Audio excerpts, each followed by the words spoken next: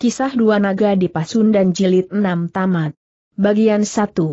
Sambil bertempur, Ki Jabarantas sempat melirik pertempuran antara istrinya dengan lawannya itu. Terlihat Ki Jabarantas bernafas lega melihat lawan istrinya itu tidak menggunakan ilmu sebagaimana orang yang tengah dihadapinya itu. Ki Jabarantas masih terus memutar otaknya guna mencari jalan keluar menghindari ajian ilmu lawan yang baru pertama kali dijumpainya itu meski hanya pernah mendengar dari para generasi tuanya tentang kekejian ilmu hitam itu. Namun Ki Jabarantas belum juga dapat menemukan sebuah cara menghindari ajian ilmu lawannya itu. Dan dalam sebuah serangan yang dilakukan oleh Ki Jabarantas telah membuat dirinya tergagap tidak menyangka bahwa lawannya dengan sebuah keberanian yang sangat di luar perhitungannya sambil merebahkan sedikit tubuhnya membiarkan serangannya lewat di atas kepala telah langsung merangsek ke depan dan dengan kuatnya telah mencengkeram pergelangan tangan di ujung pangkal tangannya itu. Melihat perbuatan lawannya itu, dengan cepat tangan lain Ki Jabarantas sudah langsung bergerak menyempok dengan tenaga penuh ke arah samping wajah lawannya. Bukan main terkejutnya Ki Jabarantas bahwa lawannya tidak menangkisnya, tapi menangkap tangannya dengan tangan lainnya. Bless! Wajah Ki Jabarantas terlihat sudah begitu pucat pasi. Ternyata Guntur Geni tidak menyia-nyiakan kesempatan itu, dan telah menghentakkan ajian mautnya menguras habis hawa murni lawannya lewat kedua tangan yang berhasil mencengkeram kuat menempel begitu rekatnya. Dengan seketika hawa murni Ki Jabarantas seperti tersedot oleh tenaga tak terlihat meluncur dan berpindah tempat ke tubuh Guntur Geni. Metuki Jabarantas masih terbuka, namun nafas dan tenaganya sudah hilang bersama hawa murni yang telah dihimpunnya puluhan tahun itu. Terdengar suara tawa guntur geni membahana mengisi relung-relung ladang kebun jagung dan bergema jauh hingga memenuhi belantara kaki gunung guntur. Di hadapannya, terlihat tubuh Ki Jabarantas terbaring di tanah tak bergerak lagi. Nyawa orang tua itu nampaknya sudah jauh pergi bersama hilangnya segenap hawa murninya yang terserap habis berpindah ke tubuh Guntur Geni. Ku bunuh kalian, berteriak keras Nyijabarantas manakala melihat tubuh suaminya tergeletak terbaring. Tak bergerak di atas tanah. Guntur Bumi bukan orang kemarin sore yang cetek pengalaman bertempurnya telah mengetahui bahwa lawannya telah terbakar kemarahannya. Sesuatu yang sangat dihindari oleh seorang petarung di mana pun bahwa kemarahan akan mengurangi kesiagaan. Dan Guntur Bumi masih terus mencari kesempatan di antara serangan lawannya yang semakin ganas menderu-deru lewat serangan pedangnya. Dan kesempatan yang ditunggu oleh Guntur Bumi akhirnya telah terbuka. Terang. Guntur Bumi dengan sengaja telah menangkis pedang Jabarantas yang meluncur begitu cepat membesut dari atas ke bawah mengancam kepalanya. Terkejut bukan kepalang Jabarantas melihat dengan penuh keberanian tangan lain Guntur Bumi telah mencengkeram tangannya yang masih memegang pedang. Bless! Nyi Jabarantas merasakan tenaganya seperti terkuras habis, sebuah tangannya yang masih terbuka hendak menghajar kepala guntur bumi masih terlihat terangkat ke atas, namun hanya berhenti sampai di situ, tenaganya sudah tidak mampu lagi menggerakkan tangan itu. Apa yang terjadi? Ternyata Guntur Bumi sebagaimana Guntur Geni telah menghentakkan ajian rahasianya, ajian kujang muncang kuning secara terbalik yang baru pertama kali dipergunakannya. Terdengar suara tawa guntur bumi membahana mengisi relung-relung ladang kebun jagung dan bergema jauh hingga memenuhi belantara kaki gunung guntur. Terlihat tubuh Nyi Jabarantas terbujur kaku tak bergerak di tanah pekarangannya. Dua tiga orang seperti pasangan suami istri ini akan membuat tenaga sakti sejati kita tak terkalahkan oleh siapa pun, berkata Guntur Geni dengan penuh kegembiraan. Kita akan mencari lagi orang-orang berilmu tinggi lainnya, berkata Guntur Bumi. Kita akan menguasai dunia, berkata Guntur Geni. Sebagaimana nama kita berdua, kehadiran kita. Seperti Guntur yang memekakkan telinga penghuni bumi. Tiada lawan tanding yang berani menghalangi apa pun yang kita inginkan, berkata Guntur Bumi. Demikianlah, dua orang yang tengah mabok kemenangan itu telah pergi meninggalkan tanah pekarangan sepasang suami istri di kaki Gunung Guntur itu. dan berbekal tenaga sakti sejati mereka yang telah berlipat ganda, mereka telah mencari beberapa orang lain lagi yang akan menjadi korban tumbal mereka, menyerap habis hawa murni mereka. Apa yang terjadi manakala kekuatan dimiliki oleh seorang yang berhati kelam sebagaimana mereka berdua? Langkah arah kaki mereka adalah arah bencana, di mana pun mereka melangkah selalu diikuti oleh suara ratap tangis dari orang-orang yang teraniaya.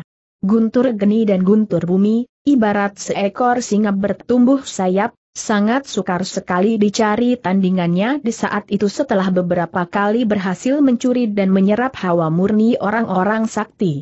Dan mereka layaknya dua dewa penyebar bencana, guntur geni dan guntur bumi adalah bencana bagi para wanita cantik, para orang kaya dan para pemilik kekuasaan di mana pun berada. Karena harta, tahta dan wanita telah merasuki jalan hidup mereka setiap saat dan waktu. Saat itu, mereka telah mulai merintis jalan menuju arah tahta singgasana mereka dengan cara menghimpun kekuatan baru dari orang-orang yang dengan sukarela sujud mengabdi kepada mereka. Dan kekuatan mereka saat itu telah mulai merembes memasuki wilayah kota Raja Rakata sebuah kerajaan tua yang saat itu masih di bawah kekuasaan kerajaan Kawali yang berdaulat penuh di tanah Pasundan. Sementara itu di sebuah pagi, terlihat Gajah Mada dan Pangeran Jaya Negara telah berada di sekitar kaki Gunung Guntur. Ladang kebun jagung itu nampak begitu subur, berkata Gajah Mada kepada Pangeran Jaya Negara ketika mereka telah berada di sebuah ladang kebun jagung. Pasti pemiliknya adalah pemilik rumah mungil itu, berkata Pangeran Jayanagara sambil menunjuk ke arah sebuah rumah panggung yang mungil di tengah ladang kebun jagung itu. Mari kita temui pemilik ladang kebun jagung ini. Siapa tahu mereka bermurah hati memberi kita beberapa buah jagung rebus, berkata Gajah Mada. Terlihat mereka berdua tengah mendekati rumah panggung mungil itu. Namun ketika mereka telah melangkah memasuki tanah pekarangan rumah itu, mereka berdua menjadi sangat terkejut melihat dua mayat tergeletak di tanah pekarangan. Nampaknya mereka mati dalam sebuah pertempuran, berkata Pangeran Jayanagara ketika melihat pedang di tangan masing-masing mayat itu. Tidak ada tanda bekas luka sedikit pun di tubuh mereka, berkata Gajah Mada sambil menilik keadaan kedua mayat itu. Namun ketika mereka menilik lebih dalam lagi, bukan main terkejutnya hati mereka. Mereka telah diserang dengan sebuah ajian ilmu muncang kuning secara terbalik, berkata Gajah Mada merasa yakin dengan apa yang dilihat dari tanda-tanda yang ada di kedua mayat itu. Sama seperti yang pernah dikatakan oleh Yang Prabu Guru Dharma Siksa, berkata Pangeran Jayanagara. Yang pasti pelakunya adalah orang yang kita cari selama ini, berkata Gajah Mada penuh keyakinan. Mari kita sempurnakan kedua mayat ini, berkata Pangeran Jayanagara. Terlihat Gajah Mada dan Pangeran Jayanagara tengah membuat dua buah lubang galian untuk mengubur kedua mayat itu yang mereka yakini adalah pemilik rumah panggung mungil itu. Orang yang kita cari telah menuntaskan laku ajian muncang kuning, berkata Gajah Mada ketika mereka berdua telah menguburkan kedua mayat itu di pekarangan rumah mereka sendiri. Kita harus mempelajari ajian muncang kuning dengan care, terbalik, hanya itu yang dapat kita lakukan untuk menghadapinya bila kita bertemu muka, berkata kembali Gajah Mada. Yang Prabu Guru Dharma Siksa mengatakan bahwa ajian ilmu itu akan menjadi sebuah ajian ilmu hitam yang sangat keji, berkata Pangeran Jayanagara. Hitam dan putih tergantung bagaimana kita mempergunakannya. Hitam dan putih tergantung siapa dan untuk apa digunakan ilmu itu. Apakah untuk jalan kebaikan atau untuk jalan keburukan, berkata Gajah Mada. Aku sependapat denganmu, Mahesa Muksa, berkata Pangeran Jayanagara. Demikianlah, mereka akhirnya sepakat untuk tinggal beberapa hari di rumah kosong itu untuk mempelajari dan mengenal ajian ilmu muncang kuning dengan cara berbeda, dengan cara terbalik.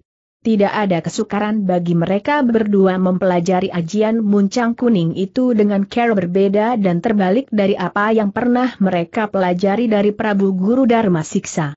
Arah jalan kita tidak berselisih jauh dengan orang yang kita cari, berkata Gajah Mada kepada Pangeran Jayanagara di suatu hari setelah mereka telah merasa yakin dapat mempelajari ajian muncang kuning dengan cara berbeda di rumah kosong tanpa penghuni itu. Demikianlah, matahari pagi terlihat bersinar terang di kaki Gunung Guntur manakala Gajah Mada dan Pangeran Jayanagara telah melangkahkan kakinya keluar dari pekarangan rumah itu meninggalkan dua buah makam di pekarangan rumah itu yang terbujur sepi, sesepi dan sesunyi rumah dan ladang kebun jagung itu yang telah ditinggalkan oleh pemiliknya untuk selama-lamanya. Dan hari demi hari pun, telah berlalu dalam langkah kaki dua pengembara muda, Gajah Mada dan Pangeran Jaya Nagara. Bukit gunung tinggi, tanah lembah dan hutan belantara telah mereka lewati hingga di sebuah senja terlihat mereka telah mendekati sebuah padukuhan kecil yang sunyi di ujung sebuah lembah hijau. Tanah ladang dan persawahan terlihat tumbuh subur mengelilingi padukuhan itu. Gili-gili air terlihat sangat terawat mengaliri persawahan mereka sebagai tanda kebersamaan dan kegotong royongan para penduduk padukuhan itu sudah tumbuh dalam kehidupan mereka. Mungkin pemilik rumah itu tengah mengalami sebuah musibah, berkata Gajah Mada ketika melihat beberapa warga padukuhan itu berkerumun di muka sebuah rumah. Terlihat kedua orang muda itu telah mendekati rumah penduduk yang sudah dipenuhi beberapa warganya. Musibah apa gerangan yang tengah menimpa pemilik rumah ini, berkata Pangeran Jaya Negara dengan kepada salah seorang di antara para warga yang ada di muka rumah itu. Terlihat orang yang ditanya itu menilik penuh perhatian kepada mereka berdua. Nampaknya kalian berdua bukan orang padukuhan ini, berkata orang itu sambil memperhatikan Gajah Mada. Dan Pangeran Jaya Nagara. Benar, kami adalah pengembara yang kebetulan lewat di padukuhan ini, berkata Pangeran Jaya Nagara. Apa yang terjadi dengan pemilik rumah ini? Bertanya kembali Gajah Mada kepada orang itu. Dua anak gadis mereka telah dirampas paksa oleh orang tidak dikenal, baru hari ini dilepaskan kembali, berkata orang itu. Apakah tidak ada yang dapat menghalangi perbuatan mereka? bertanya Pangeran Jaya Nagara. Beberapa orang padukuhan ini telah mereka lumpuhkan, berkata orang itu. Aku orang yang ikut mengeroyok mereka berdua, namun kami tidak dapat berbuat banyak, mereka berdua bukan tandingan kami, berkata orang itu sambil memperlihatkan pinggangnya yang biru terkena pukulan dua orang yang dikatakan berilmu sangat tinggi itu. Orang padukuhan itu juga bercerita tentang beberapa ciri dari dua orang tidak dikenal. Pendeta Rakanata dan Patih Anggajaya, berkata Gajah Mada dalam hati memastikan ciri-ciri yang sama tentang kedua orang tidak dikenal itu, namun Gajah Mada tidak mengatakan apa pun. Salah seorang dari kedua orang itu memperkenalkan diri sebagai utusan dari langit untuk menjaga tanah Pasundan, berkata kembali orang itu setelah bercerita banyak mengenai ciri-ciri dua orang tidak dikenal itu. Hari ini kami kemalaman, dapatkah ditunjukkan kepada kami di mana letak banjar desa? berkata Pangeran Jayanagara setelah merasa cukup mendengar keterangan orang itu. Orang itu pun menunjukkan kepada mereka berdua letak banjar desa di padukuhan itu. Terlihat Gajah Mada dan Pangeran Jaya Negara telah keluar dari pekarangan pemilik rumah yang terkena musibah itu. Mereka berdua nampaknya tengah menuju banjar desa untuk bermalam di padukuhan itu. Di tengah perjalanan mereka, Gajah Mada bercerita kepada Pangeran Jaya Negara tentang ciri-ciri orang tidak dikenal itu dengan Patih Anggajaya dan Pendeta Rakanata. Aku memastikan diri bahwa kedua orang itu pastilah Patih Anggajaya dan Pendeta Rakanata, mereka berdua juga yang telah membunuh sepasang suami istri di kaki Gunung Guntur, berkata Gajah Mada kepada Pangeran Jaya Nagara. Kita harus bertanya ke mana arah perjalanan mereka kepada penduduk padukuhan ini. Akhirnya mereka berdua telah menemukan banjar desa di padukuhan itu. Seorang penjaga banjar desa cukup lama menemani mereka berdua, bercerita juga tentang kehadiran dua orang tidak dikenal yang berilmu tinggi telah membawa pergi dua orang anak gadis. Mereka berdua berjalan ke arah barat padukuhan ini, berkata penjaga banjar desa itu. Dan malam pun terus berlalu, Gajah Mada dan Pangeran Jaya Negara telah bermalam di banjar desa padukuhan itu. Angin malam berhembus dingin, dan malam berlalu dalam sepi. Gajah Mada dan Pangeran Jaya Negara secara bergantian beristirahat di banjar desa itu. Akhirnya Seng pagi datang juga. Kebetulan kami punya ketela pohon yang baru dicabut, berkata penjaga banjar desa itu yang datang menemui mereka berdua. Terima kasih, berkata Pangeran Jayanagara kepada orang itu. Dan manakala warna bumi sudah terang tanah, terlihat Gajah Mada dan Pangeran Jayanagara telah meninggalkan padukuhan itu. Arah perjalanan mereka terlihat menuju ke arah barat membelakangi matahari pagi. Demikianlah, hari ke hari terus berlalu. Kedua anak muda itu masih terus mengembara menapaki bumi Pasundan dan semakin mengenal sifat dan sikap orang-orang Pasundan yang mereka temui. Seperti orang-orang pedalaman Majapahit, orang-orang Pasundan di pedalaman juga sangat kuat kepercayaannya kepada ajaran nenek moyang mereka, berkata Gajah Mada kepada Pangeran Jayanagara dalam sebuah perjalanan mereka. Benar, pemahaman mereka tentang para dewa bercampur baur dengan ajaran leluhur mereka. Agama kerajaan nampaknya belum dapat murni memasuki kehidupan mereka, berkata Pangeran Jayanagara. Demikianlah, Gajah Mada dan Pangeran Jayanagara telah mengembara cukup jauh masuk ke pedalaman bumi Pasundan, mengenal dan memahami adat istiadat orang-orang Pasundan pada umumnya.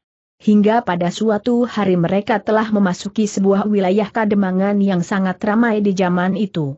Sebuah kademangan yang berada di sekitar perbukitan gunung. Gede dan Gunung Pangrangot, sebuah daerah yang sangat hijau dan subur. Kademangan Cibadak, begitulah nama kademangan besar dan ramai itu. Namun mereka nampaknya berada di kademangan itu di hari yang salah. Mereka berdua telah melihat beberapa rumah besar telah terbakar, terlihat sebuah keluarga tengah duduk termenung di depan rumah mereka yang telah hangus terbakar. Sebuah gerombolan besar telah merampok habis beberapa rumah di Kademangan ini, berkata seorang lelaki kepada Gajah Mada dan Pangeran Jayanagara yang datang menghampirinya. Kami hanya pengembara, ikut berduka atas musibah yang tengah dialami penduduk Kademangan ini, berkata Pangeran Jayanagara kepada lelaki itu. Lumbung kami semua mereka rampas, juga harta benda yang kami miliki, berkata kembali lelaki itu.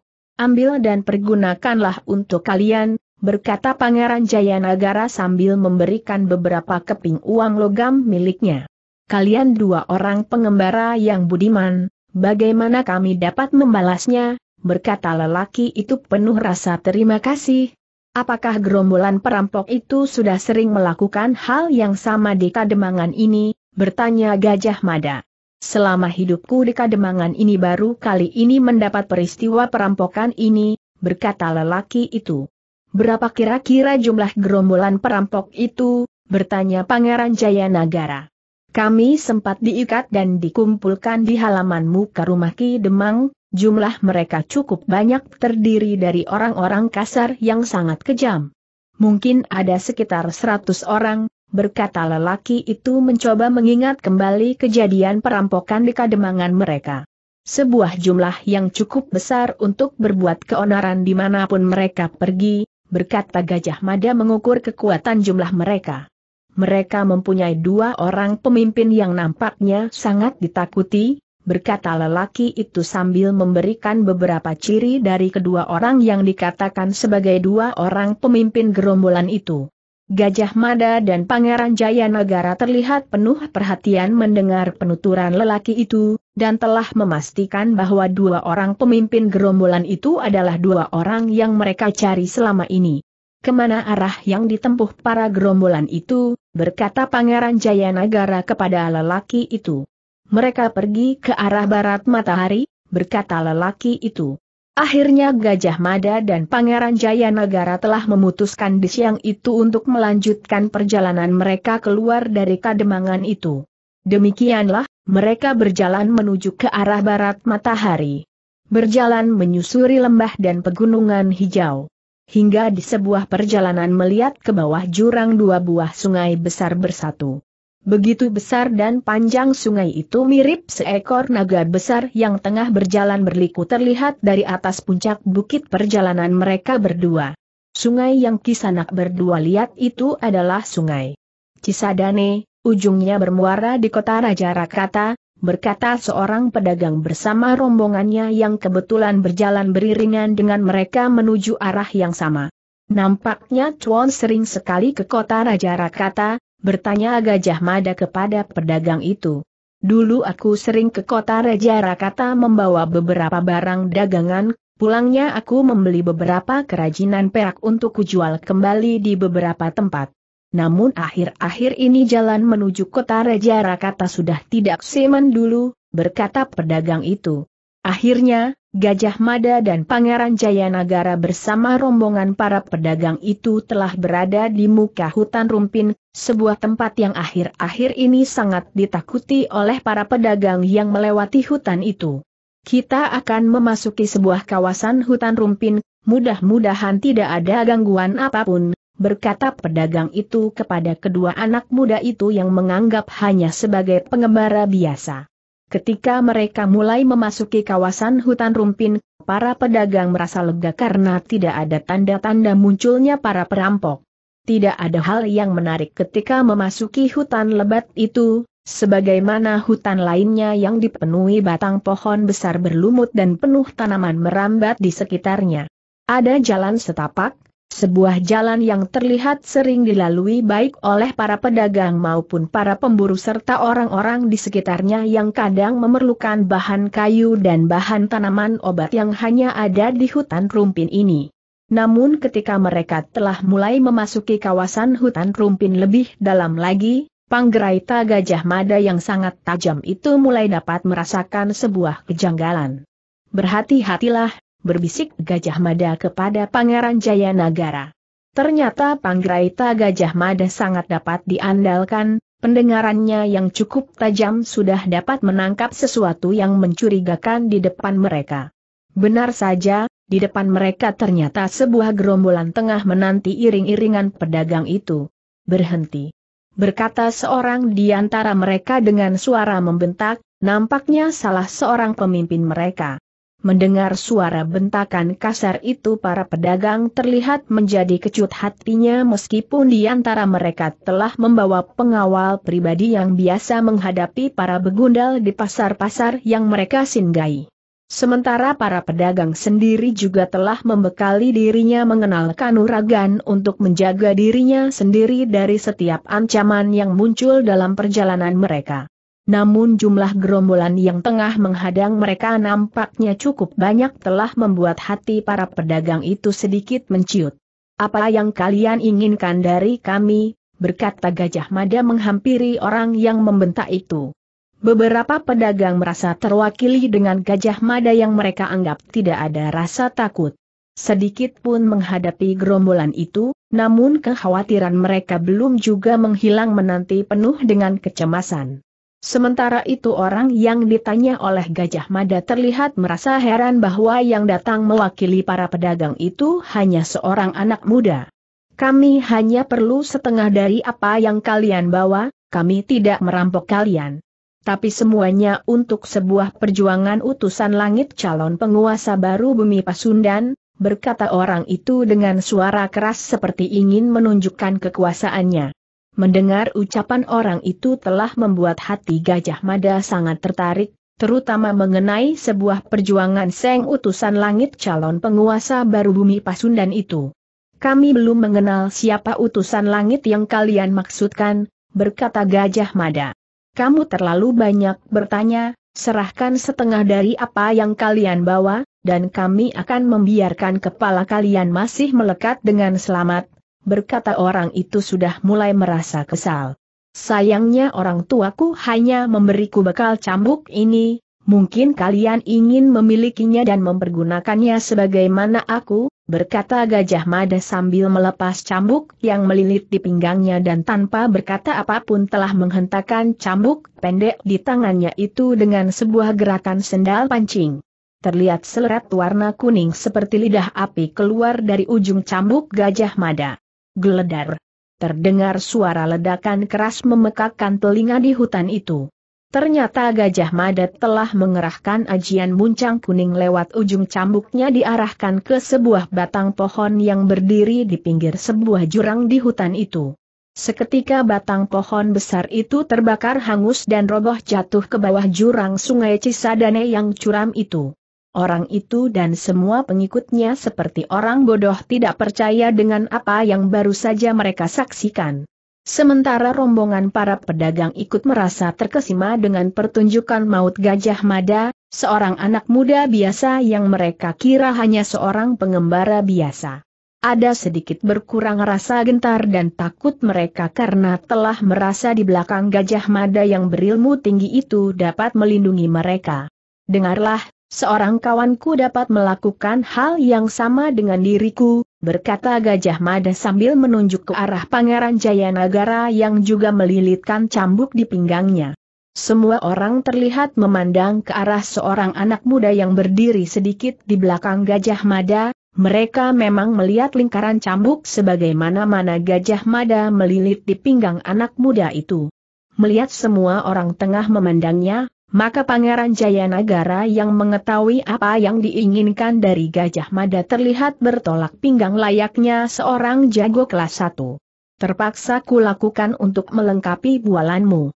Mahesa Muksa, berkata Pangeran Jayanagara dalam hati sambil menahan senyumnya masih menunjukkan sikap jagoan kelas satu. Jumlah kalian sekitar 20 orang, lebih sedikit dari jumlah kami, Sementara itu bersama kami ada empat orang dapat melakukan lebih hebat dari apa yang telah kuperlihatkan kepada kalian, berkata Gajah Mada tanpa menunjukkan siapa empat orang pedagang yang dimaksudkannya itu. Terlihat beberapa pedagang saling mencari siapa gerangan empat orang yang dimaksudkan oleh anak muda itu. Ternyata Gajah Mada hanya sekedar membual, asal mengucap untuk membuat keder dan jerih para gerombolan itu. Namun ulah Gajah Mada memang berdampak, para gerombolan itu sudah merasa kecut hatinya melihat sendiri kedahsyatan ilmu yang dimiliki oleh Gajah Mada. Nampaknya mereka juga telah berhitung bahwa bersama Gajah Mada ada seorang anak muda lain yang memiliki kemampuan yang sama, ditambah empat orang lagi yang lebih hebat dari anak muda itu. Bayangkan bahwa cambuku ini ditujukan ke arah tubuh kalian, berkata kembali Gajah Mada sambil menggerakkan ujung cambuknya sendiri. Silahkan kalian lewat, kami tidak akan mengganggu, berkata langsung pemimpin gerombolan itu telah membayangkan ujung cambuk anak muda itu ditujukan langsung ke dirinya. Mendengar ucapan dari pemimpin gerombolan itu, terlihat Gajah Mada tidak menyia-nyiakan kesempatan itu. Dan telah memberi tanda kepada para pedagang untuk melanjutkan perjalanan mereka terlihat para pedagang segera berkemas kembali membawa dagangan mereka untuk segera meninggalkan daerah itu. Beruntung bahwa kalian berjalan bersama kami, berkata seorang pedagang kepada Gajah Mada dan Pangeran Jayanagara ketika mereka telah mulai jauh dari tempat di mana gerombolan perampok itu mencegat mereka. Aku hanya bisa membual, bersyukurlah bahwa mereka termakan bualanku ini, berkata Gajah Mada sambil tersenyum. Aku melihat anak muda tidak sedang membual, aku melihat sendiri bagaimana sebuah pohon besar menjadi hangus terbakar dan tumbang, berkata pedagang itu sambil terus berjalan. Lupakanlah apa yang kamu lihat, kami hanya pengembara biasa, berkata Gajah Mada berharap pedagang itu tidak melanjutkan pujian lagi kepada dirinya. Nampaknya pedagang itu tahu diri, merasa berhadapan dengan orang sakti yang sangat rendah hati tidak ingin dipuji. Maka akhirnya pedagang itu sambil berjalan telah mengalihkan arah pembicaraan mereka. Nampaknya mereka memang tengah menggalang sebuah biaya besar bagi sebuah perjuangan, berkata pedagang itu mengalihkan arah pembicaraan. Untuk kedua kalinya aku mendengar tentang utusan langit calon penguasa bumi Pasundan itu, berkata Gajah Mada menanggapi pembicaraan pedagang itu. Di mana kalian mendengar tentang utusan langit itu, bertanya pedagang itu kepada Gajah Mada. Dari warga sebuah kademangan besar di perbukitan Gunung Gede dan Gunung Pangrangot, mereka telah merampas habis harta benda di kademangan itu, berkata Gajah Mada kepada pedagang itu. Kami akan mengurungkan untuk melakukan perjalanan jauh, pasti di semua tempat saat ini sudah mulai tidak aman lagi, berkata pedagang itu sambil menarik nafas panjang. Sementara itu tidak terasa mereka telah keluar dari kawasan hutan rumpin, dan tengah menyusuri jalan setapak menurun tajam. Ternyata mereka berjalan menuju ke arah sebuah sungai besar, Sungai Cisadane. Kita telah sampai di pangkalan jati, berkata pedagang itu ketika mereka telah sampai di pinggir sungai Cisadane di mana terlihat banyak perahu kayu sandar di dermaga kayu. Nampaknya beberapa pemilik perahu itu sudah sangat mengenal para pedagang yang baru tiba itu, mereka saling bertanya tentang keadaan dan keselamatan masing-masing. Perahu kayu ini akan membawa kita ke kota Raja Rakata, berkata pedagang itu menjelaskan kepada Gajah Mada dan Pangeran Jayanagara. Sungai Cisadane ini bermuara di sebuah daratan besar di bawah kaki gunung berapi Rakata, di situlah letak kerajaan Rakata berdiri, berkata kembali pedagang itu. Mendengar penjelasan pedagang itu, Gajah Mada dan Pangeran Jayanagara merasa sangat senang. Hatinya, perjalanan mereka ke kota Raja Rakata begitu mudah. Maka tanpa banyak pertimbangan, Gajah Mada dan Pangeran Jayanagara sudah langsung naik salah satu perahu dari tiga perahu yang berangkat bersama-sama membawa para pedagang dan barang dagangan mereka. Dan senja terlihat begitu bening menyapu pemandangan alam yang terlewati dari atas sebuah perahu kayu yang hanyut menyusuri sungai Cisadane yang berkelok-kelok, kadang mereka melewati sebuah hutan lebat, namun mereka juga telah melewati hamparan pesawahan di kiri kanan sungai besar itu. Di dalam perjalanan menyusuri sungai Cisadane itu, Gajah Mada dan Pangeran Jayanagara tidak banyak bercakap-cakap terutama tentang tujuan perjalanan mereka sendiri, nampaknya kedua anak muda itu tidak ingin tujuan perjalanan mereka diketahui oleh siapa pun. Namun nampaknya kedua anak muda itu telah berpikir sama, terutama tentang utusan langit calon penguasa baru bumi Pasundan itu. Mereka merasa yakin bahwa dua orang yang mereka cari itu ada kaitannya dengan peristiwa keresahan penduduk desa, perampokan dan para gerombolan yang mereka temui di hutan rumpin itu. Nampaknya Patih Anggajaya dan Pendeta Rakanata tengah menggalang sebuah kekuatan besar melanjutkan ambisi besar mereka yang gagal di kota Raja Kawali, berkata Gajah Mada dalam hati. Sementara itu senja terlihat mulai pudar, gelap malam sudah mulai menghalangi pemandangan di atas sungai Cisadane itu. Semalaman perahu kayu itu berlayar mengarungi sungai Cisadane menembus kegelapan di atas air sungai yang mengalir tenang di awal musim kemarau itu. Hingga akhirnya langit malam mulai berubah warna kemerahan sebagai tanda ujung malam akan segera berganti. Dari jauh terlihat kerlap-kerli pelita malam rumah-rumah penduduk seperti tebaran bintang di atas gundukan dataran bumi di kegelapan pagi. Dan cahaya pagi pun terlihat semakin terang, terlihat hutan bakau di sisi sungai Cisadane yang sudah mendekati Muara Rakata. Pagi yang indah, berkata Pangeran Jayanagara sambil memandang beberapa bang bluok yang terbang rendah di hutan bakau. Akhirnya perahu kayu terlihat menepi di sebuah dermaga di ujung muara Rakata. Satu dua buah perahu besar terlihat telah bersandar bersama sampan para nelayan. Bandar Pelabuhan Rakata, sebuah bandar pelabuhan tua di pagi itu terlihat ramai dipenuhi para buruh angkut membawa berbagai barang para pedagang yang singgah di bandar pelabuhan itu. Konon bandar pelabuhan itu pernah disinggahi perahu dagang dari berbagai nagari di dunia di masa kejayaan kerajaan Rakata.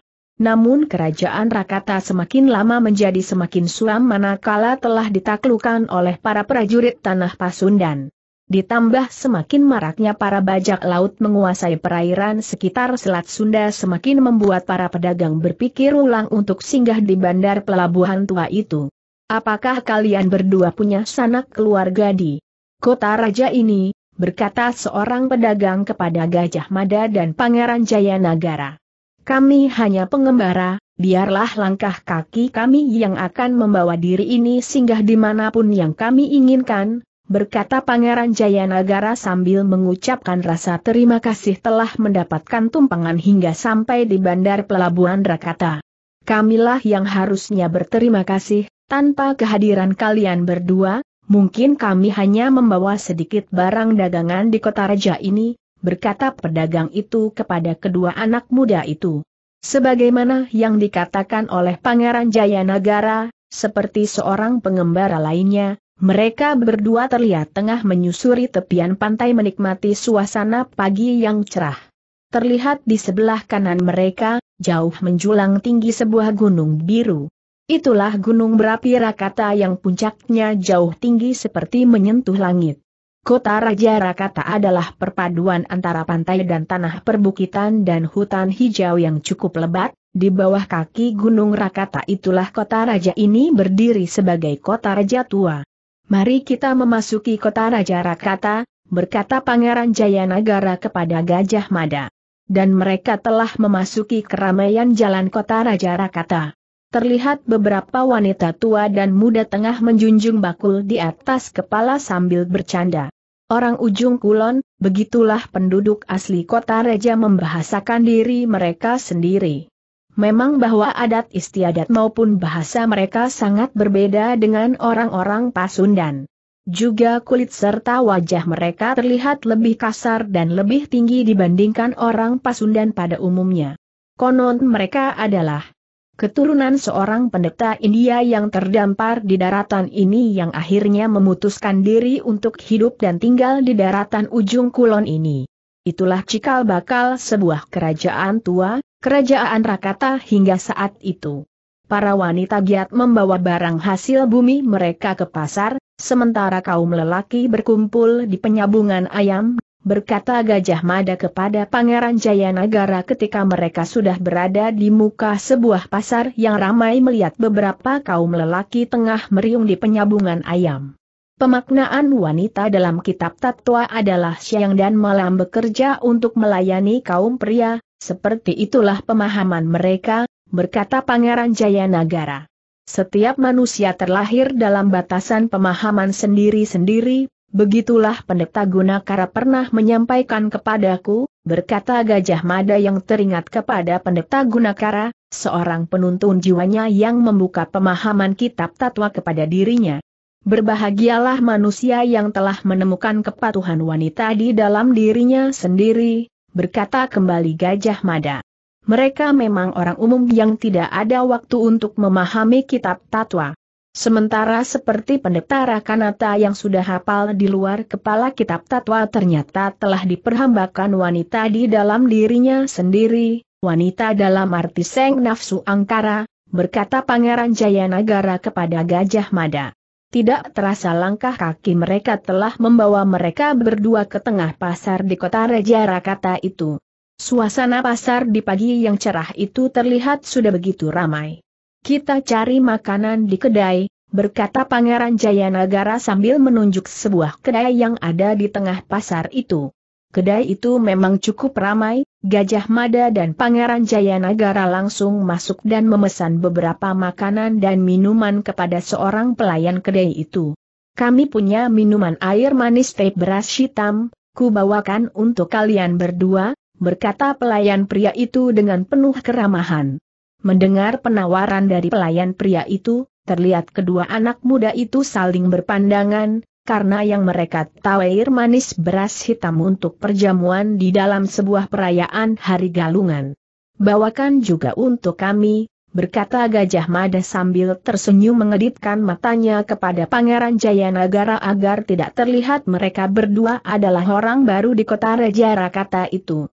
Ternyata di kota Raja Rakata, setiap hari orang merayakan hari galungan, berbisik Pangeran Jayanagara kepada Gajah Mada setelah pelayan pria itu pergi meninggalkan mereka berdua.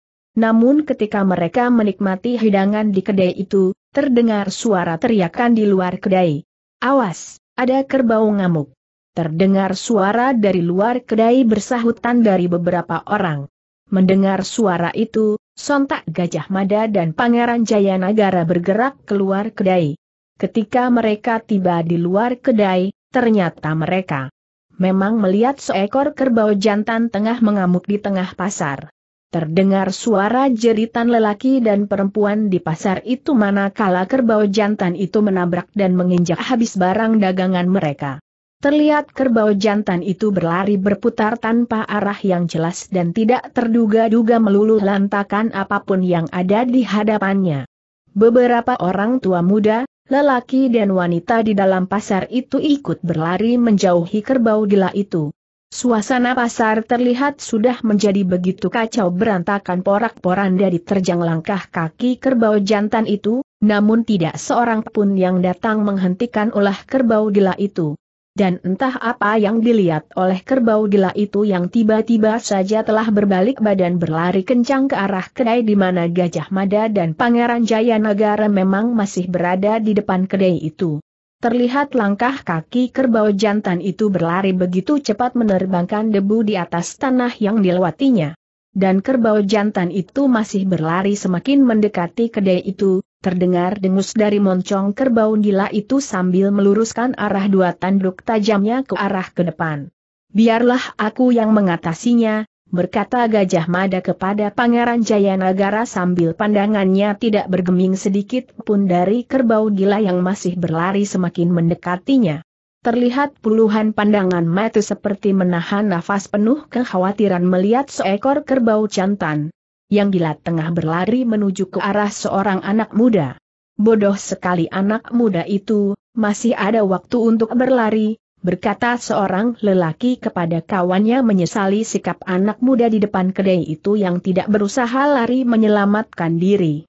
Sikap Gajah Mada memang benar-benar membuat semua orang membodohinya, mengapa tidak berlari menyelamatkan diri dari kerbau gila yang tengah berlari ke arahnya itu. Dan kerbau gila itu sudah semakin mendekat, terlihat debu beterbangan tergelas langkah kakinya mengepul tinggi, namun Gajah Mada masih tetap tenang berdiri seperti tengah menunggu sebuah permainan biasa. Jangan-jangan anak muda itu ikut gila seperti kerbau gila itu, berkata kembali seorang lelaki kepada kawannya. Sementara kerbau gila itu telah begitu dekat di hadapan Gajah Mada siap menerjang anak muda itu yang dengan penuh ketenangan seperti tengah menunggu terjangan itu datang menghampirinya. Namun semua mata sontak terperanjat tidak percaya dengan apa yang mereka lihat sendiri. Apa yang mereka saksikan? Ternyata mereka melihat bahwa anak muda itu telah menangkap kedua tanduk kerbau gila itu. Seketika itu juga kerbau itu seperti tertahan tidak mampu maju sedikit pun. Sebuah tontonan adu kekuatan yang luar biasa telah ditunjukkan oleh Gajah Mada dan orang-orang yang menyaksikan kejadian itu benar-benar merasa heran. Bahwa ada seorang pemuda mempunyai tenaga yang begitu hebat dapat menahan kekuatan seekor kerbau jantan yang sedang mengamuk. Krak! Semua orang telah mendengar suara itu. Ternyata suara itu berasal dari tulang leher kerbau gila itu yang telah dipatahkan dengan mudahnya oleh Gajah Mada. Terlihat seketika itu juga kerbau ganas itu roboh tergeletak di atas tanah sudah tidak bergerak sama sekali, mati. Semua orang yang menyaksikan kejadian itu telah datang menghampiri kerbau yang sudah mati itu untuk meyakinkan bahwa mati mereka memang tidak salah melihat. Dalam waktu yang singkat sudah terlihat kerumunan orang banyak di sekitar kerbau mati itu, dan semua orang menatap penuh kekaguman ke arah Gajah Mada. Namun tiba-tiba saja seorang lelaki bertubuh tambur telah datang menerobos kerumunan orang-orang. Kamu harus mengganti kerbauku yang mati ini, berkata lelaki bertubuh tambur itu sambil menuding wajah Gajah Mada. Kerbau ini telah mengamuk membuat resah, bahkan telah mengancam selembar jiwaku, berkata Gajah Mada membela diri. Jangan membela diri, yang jelas kerbauku mati karena ulahmu, berkata lelaki bertubuh tambur itu tidak mau kalah. Semua orang yang tengah berkerumun itu merasa tidak senang hati dengan orang yang mengaku pemilik kerbau gila itu. Namun semua orang yang ada di situ sudah mengetahui siapa lelaki bertubuh tambur itu, nampaknya ada perasaan jerih bermasalah dengan lelaki itu. Kasihan anak muda ini, berkata salah seorang di antara mereka dalam hati masih tidak bergeser dari tempatnya ingin mengetahui kelanjutan masalah kerbau gila yang sudah tidak bergerak lagi itu. Demikianlah, hampir semua orang yang ada di kerumunan itu membela Gajah Mada. Namun mereka tidak berani buka suara sedikit pun, takut dirinya menjadi ikut terbawa-bawa. Kerbau gila itu memang sudah sewajarnya harus dibunuh berkata tiba-tiba seseorang di antara kerumunan itu. Semua orang telah langsung menoleh ke arah pemilik suara itu. Ternyata pemilik suara itu berasal dari seorang prajurit yang sudah banyak dikenal di pasar itu, seorang prajurit Rakata yang memang bertugas mengamankan pasar. Siapa yang akan mengganti kerugianku, berkata lelaki bertubuh tambur itu kepada prajurit itu. Sudah syukur orang sepasar ini tidak menuntut kerugian atas ulah kerbau gilamu, apakah kamu mau ku panggil semua orang di pasar ini untuk beramai-ramai menuntut ganti rugi kepadamu, berkata prajurit itu dengan nada mengancam. Mendengar ancaman prajurit itu yang nampaknya tidak main-main itu telah membuat lelaki tambur itu seperti salah tingkah. Ini adalah urusanku dengan anak muda ini, berkata lelaki tambur itu masih ingin mencoba keluar dari urusan ganti rugi banyak orang akibat ulah kerbaunya. Urusan ini menyangkut urusanku pula, karena anak muda ini adalah anak kemenakanku, berkata prajurit itu kepada lelaki bertubuh tambur itu. Mendengar bahwa prajurit itu telah mengaku-ngaku dirinya sebagai anak kemenakannya, Gajah Mada terlihat hanya tersenyum dalam hati mengetahui maksud prajurit itu pasti baik, untuk membelanya. Sementara itu lelaki bertubuh tambur itu terlihat sudah tidak dapat lagi memperpanjang urusan itu, nampaknya sungkan berurusan dengan prajurit itu. Maka dengan wajah masam telah dengan begitu saja pergi meninggalkan kerumunan orang banyak. Tolong bantu aku untuk menyingkirkan bangkai kerbau ini, berkata prajurit itu kepada beberapa orang yang dikenalnya. Gajah Mada yang merasa telah dibelah oleh prajurit itu terlihat ikut membantu beberapa orang membawa kerbau mati itu ke sebuah tempat di luar pasar, jauh dari hiruk pikuk lalu lalang banyak orang. Mengapa paman membelaku dengan mengatakan aku ini kemenakan paman? Bertanya Gajah Mada kepada prajurit itu setelah mereka bersama telah menyingkirkan bangkai kerbau gila itu. Bila tidak berkata seperti itu, Juragan Maruhut pasti akan menyusahkan dirimu, berkata prajurit itu sambil tersenyum memandang ke arah Gajah Mada. Terima kasih telah membelaku, berkata Gajah Mada telah mengerti mengapa prajurit itu mengakunya sebagai kemenakannya. Nampaknya kalian berdua adalah para pengembara, berkata prajurit itu kepada Gajah Mada dan Pangeran Jaya Nagara. Namaku Mahesa Muksa, dan ini kawanku Kelana Jaya, berkata Gajah Mada memperkenalkan dirinya dan Pangeran Jaya Negara dengan nama yang lain. Terlihat Pangeran Jaya Negara tidak mempermasalahkan nama yang disebut oleh Gajah Mada untuknya. Orang-orang di sini memanggilku dengan sebutan Kilurah Jangkung, berkata prajurit setengah baya itu yang memang bertubuh cukup tinggi dibandingkan orang-orang pada umumnya. Kami berdua memang para pengembara, kebetulan langkah kaki kami telah membawa kami di tempat ini, berkata Pangeran Jayanagara kepada Kilurah Jangkung.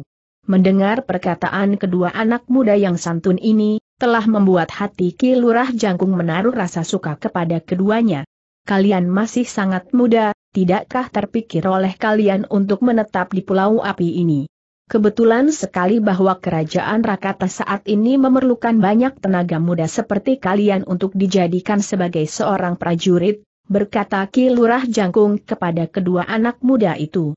Menjadi seorang prajurit, berkata Gajah Mada menoleh ke arah Pangeran Jayanagara seperti meminta pertimbangan kepada sahabatnya itu. Belum lama ini kami memang telah memutuskan untuk berhenti menjadi seorang pengembara, namun kami belum tahu apa yang dapat kami lakukan, berkata Pangeran Jayanagara mencoba mengarang sebuah cerita. Bagian 2 Diam-diam Gajah Mada tersenyum dalam hati mendengar celoteh sahabatnya itu, namun di hadapan Kilurah Jangkung tidak memperlihatkannya, bahkan seperti membenarkan ucapan Pangeran Jayanagara. Bila kalian berminat, akan kuperkenalkan kalian kepada adikku. Kebetulan sekali adikku itu dipercaya oleh istana untuk menyaring para calon prajurit, berkata Ki Lurah Jangkung kepada kedua anak muda itu. Aku berminat, tapi aku belum tahu bagaimana dengan sahabatku ini, berkata Pangeran Jayanagara kepada Ki Lurah Jangkung, juga kepada Gajah Mada. Keputusanmu adalah keputusanku pula, aku berminat menjadi seorang prajurit, berkata Gajah Mada kepada Pangeran Jayanagara, juga kepada Kilurah Jangkung. Bila kalian memang berminat menjadi seorang prajurit Rakata, mari ikut ke rumahku, berkata Kilurah Jangkung kepada kedua anak muda itu. Demikianlah, mereka bertiga terlihat tengah berjalan meninggalkan pasar kota Raja Rakata menuju rumah kediaman Kelurah Jangkung yang tidak begitu jauh, di sebuah padukuhan masih di dalam lingkungan kota Raja Rakata. Ternyata rumah milik Kilurah adalah sebuah rumah. Kediaman yang sederhana, sebuah rumah panggung yang dikelilingi pekarangan dan tanah ladang yang dipenuhi oleh tanaman kelapa membuat suasana di sekitar rumah itu menjadi sangat sejuk dan teduh. Inilah Seng Permaisuriku, berkata Ki Lurah Jangkung memperkenalkan istrinya yang datang menyongsong mereka di atas panggungan. Suamiku memang senang bercanda, tapi kadang sangat berlebihan, mana bisa wajahku yang gelap ini disamakan dengan seorang permaisuri, berkata Jangkung dengan senyum penuh keramahan kepada Gajah Mada dan Pangeran Jayanagara. Bukankah kalian berdua adalah raja dan ratu di rumah ini, berkata Gajah Mada ikut menanggapi canda Kilurah Jangkung. Maaf Dinda Ratu, adakah sedikit makanan guna menjamu kedua tamu kita? berkata Kilurah Jangkung kepada istrinya, masih dengan care penuh candanya. Mendengar perkataan suaminya itu, terlihat Nyi Jangkung tersenyum. Aku tinggal dulu, berkata Nyi Jangkung masih dengan senyum di kulum. Setelah Nyi Jangkung masuk ke dalam, mereka pun terlihat asik berbincang-bincang. Ternyata Ki Lurah Jangkung orang yang sangat mengasyikan, punya banyak bahan cerita membuat suasana di atas rumah panggungnya terlihat menjadi hidup dan penuh tawa. Dalam perbincangan itu, Ki Lurah Jangkung juga banyak bercerita tentang prajurit Rakata bersama Pangeran Rawidu yang sampai saat ini tidak diketahui keberadaannya, masih hidup atau sudah mati. Sampai, saat ini banyak keluarga prajurit yang menanti dengan penuh kekhawatiran nasib suami, anak dan saudara mereka. Gajah Mada dan Pangeran Jayanagara yang telah menyaksikan pembantaian prajurit Rakata di hutan dekat kota Raja Kawali, terlihat hanya menarik nafas panjang tidak berkata apa pun agar Ki Lurah Jangkung tidak mengetahui jati mereka sebenarnya. Jadi Pangeran Rawidu sampai hari ini belum kembali ke istana, Bertanya Gajah Mada kepada Ki Lurah Jangkung ingin mengetahui keadaan Pangeran Rawidu.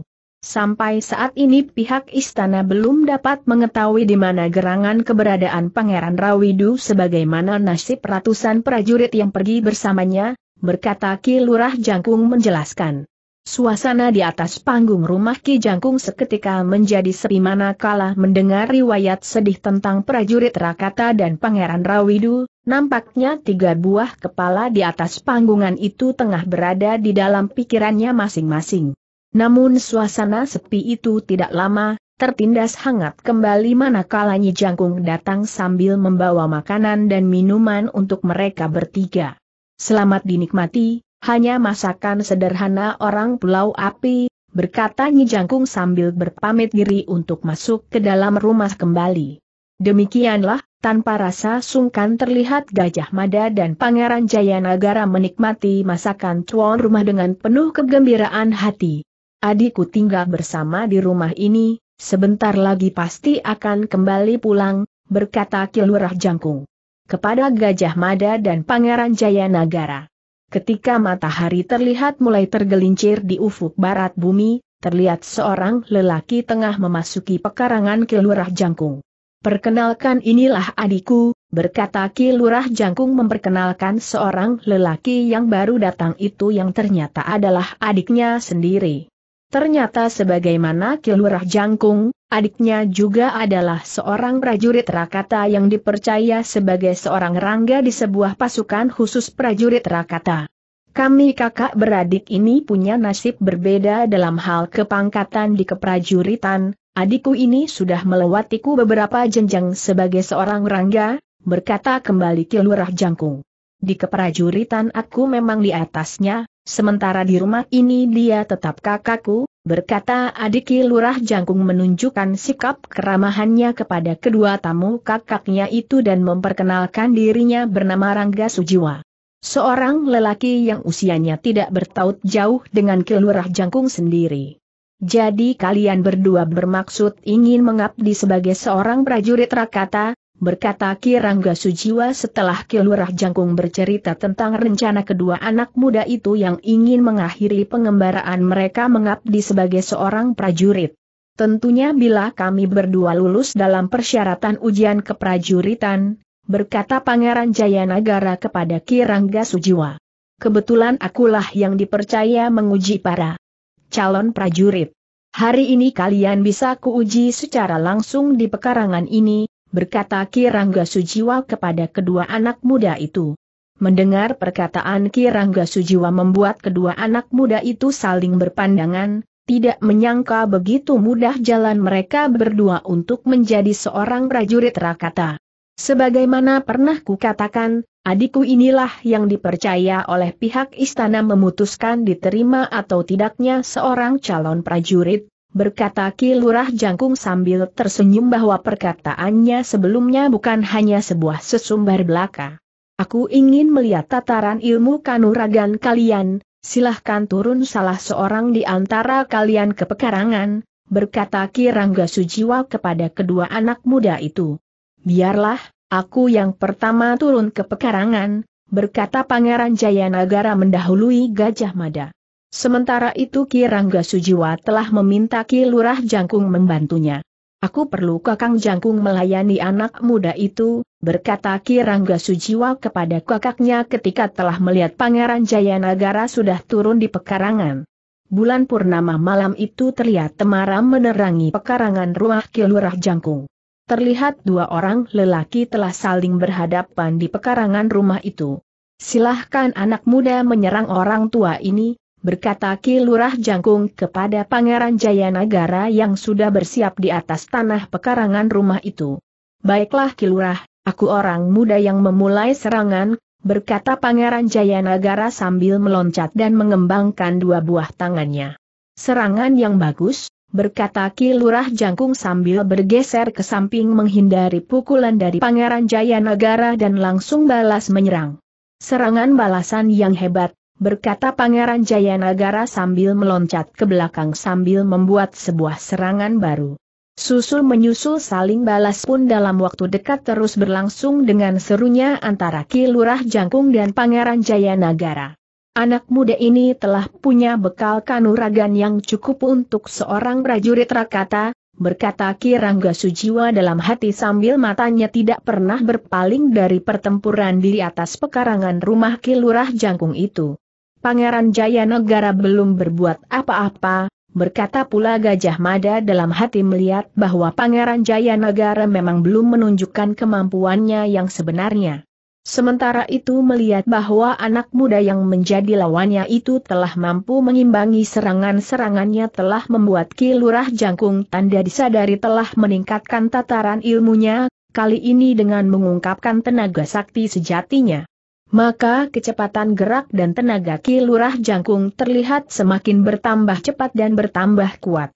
Dengan sangat terpaksa Pangeran Jayanagara telah ikut meningkatkan tataran ilmunya pula, mengimbangi kecepatan dan kekuatan lawan. Hebat, berkata Ki Lurah Jangkung yang tidak menyangka bahwa Pangeran Jayanagara dapat dengan cepat keluar dari terkamannya bahkan telah balas menyerangnya pula. Cukup, berteriak Ki Rangga Sujiwa dari atas panggungan rumah. Mendengar teriakan Ki Rangga Sujiwa itu, terlihat keduanya telah langsung meloncat ke belakang menghentikan pertempuran itu. Untungnya pertempuran ini dihentikan, bila diteruskan pasti aku yang sudah tua ini sangat malu dikalahkan oleh orang muda, berkata Ki Lurah Jangkung sambil tersenyum. Ki Lurah Jangkung terlalu merendahkan diri, pertempuran akhir belum terjadi, berkata Pangeran Jayanagara kepada Kilurah Jangkung. Ayo anak muda, sekarang giliran kita mencari keringat di malam dingin ini, berkata Kirangga Sujiwa kepada Gajah Mada. Selang-seling dua orang yang naik ke atas panggungan dan dua orang lagi turun dari panggungan pun terlihat di malam yang masih wayah sepi bocah itu. Pastikan pertempuran kita lebih seru dari pertempuran tadi, berkata Kirangga Sujiwa sambil bersikap bersiap diri dengan sebuah kuda-kuda yang terlihat kokoh. Baiklah, aku orang muda menyerang lebih dulu, berkata Gajah Mada dengan wajah cerah penuh kegembiraan hati menghadapi lawan tandingnya. Serangan pertama yang hebat, berkata Kirangga Sujiwa sambil meloncat cepat menghindari tendangan Gajah Mada yang meluncur ke arahnya. Serangan balasan yang berbahaya, berkata Gajah Mada sambil menghindari serangan balasan dari Kirangga Sujiwa itu. Seperti pertempuran sebelumnya, pertempuran kali ini juga tidak kalah serunya, saling balas menyerang pun terjadi dengan sangat hebatnya. Sangat cepat sekali, berkata Gajah Mada sambil tersenyum sedikit menundukkan kepalanya dari pukulan Kirangga Sujiwa yang sangat cepat dan kuat. Ternyata Kirangga Sujiwa sudah langsung bergerak dengan tenaga bukan wadak lagi, tapi sudah mengungkapkan tenaga sakti sejatinya sendiri sehingga telah membuat serangannya sangat kuat dan cepat. Demikianlah, tidak terasa pertempuran mereka terus berlanjut dengan semakin seru, semakin cepat dan kuat sehingga mereka berdua selintas hanya seperti dua buah bayangan yang saling berkejaran di atas tanah pekarangan di bawah malam bulan purnama itu. Cukup, berkata Kirangga Sujiwa sambil meloncat ke belakang meminta Gajah Mada menghentikan serangannya. Kalian berdua memang layak menjadi seorang prajurit Rakata, berkata kembali Kirangga Sujiwa dengan nafas yang masih memburu. Masih lebih lama dari pertempuran sebelumnya, berkata Gajah Mada dengan wajah masih cerah dan nafas teratur seperti belum melakukan apa-apa. Nafasmu sangat kuat anak muda, berkata Kirangga. Memuji kekuatan diri Gajah Mada yang melihat nafasnya tidak memburu sebagaimana dirinya itu. Kalian cepat naik, Seng Permaisuriku telah membawakan hidangan malam, berkata Ki Lurah Jangkung kepada Gajah Mada dan Ki Rangga Sujiwa. Ternyata di atas panggungan rumah, Nyai Lurah Jangkung memang telah menyediakan makan malam mereka. Demikianlah, mereka berempat terlihat tengah menikmati makanan malam dengan penuh senda gurau seperti empat sahabat lama yang sudah begitu lama tidak bertemu, mereka memang terlihat sudah begitu akrab sekali dan malam masih terus bergeser perlahan di atas panggungan rumah Kilurah Jangkung yang masih asik berbincang dengan dua orang tamunya dan seorang adiknya itu. Namun tiba-tiba saja kening Kilurah Jangkung berkerut. Nampaknya ada sesuatu yang dilihatnya di pekarangan rumahnya, karena kebetulan sekali duduk Kilurah Jangkung memang berhadapan dengan pekarangan rumahnya. Ternyata memang Kilurah Jangkung telah melihat dua orang tengah memasuki pekarangan rumahnya. Sontak seketika itu semua mata menatap ke arah pandangan Kilurah Jangkung, melihat apa yang dilihat oleh Kilurah Jangkung di halaman pekarangan rumahnya itu. Pengawal pribadi Baginda Raja, berkata Kilurah Jangkung mengenali beberapa pertanda yang dipakai oleh kedua orang yang mulai mendekati tangga rumahnya. Cahaya purnama di malam itu memang telah menerangi wajah kedua orang pengawal pribadi Baginda Raja Pulau Wapi sebagaimana yang dilihat oleh Kilurah Jangkung. Apakah kami berdua telah memasuki rumah Kilurah Jangkung? Bertanya salah seorang dari prajurit itu. Kalian berdua tidak salah masuk, berkata Kilurah Jangkung memperkenalkan dirinya kepada kedua prajurit itu. Ketika mereka berdua ikut duduk di panggungan, maka Ki Lurah pun bertanya maksud dan kepentingan dari kedua prajurit pengawal pribadi Baginda Raja Pulau Wapi itu. Siapakah di antara kalian yang bernama Mahasa Muksa? Bertanya salah seorang prajurit pengawal itu tanpa memberitahukan lebih dulu maksud utama kedatangannya sebagaimana yang ditanyakan oleh Kilurah Jangkung.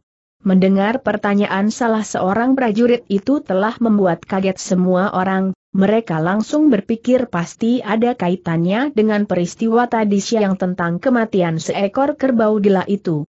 Juragan Maruhut pasti telah menghasut para petinggi istana dengan cerita palsunya, berkata Ki Lurah Jangkung menduga-duga. Ada kepentingan apakah kalian bertanya tentang Mahesa Muksa, berkata Kirangga Sujiwa mengambil alih pembicaraan. Kami hanya menjalankan perintah Baginda Raja. Membawa orang yang bernama Mahasa Muksa ke istana, berkata kembali salah seorang prajurit itu. Sementara itu Gajah Mada yang juga berpikir bahwa kedatangan kedua prajurit itu berkaitan dengan peristiwa kerbau gila yang mati, merasa tidak ingin kedua tuan rumahnya tersangkut dengan apa yang telah dilakukannya pada peristiwa itu. Dan Gajah Mada memang telah terbina sejak kecil untuk berlaku sebagai seorang kesatria, berani dengan dada terbuka atas segala perbuatannya sendiri.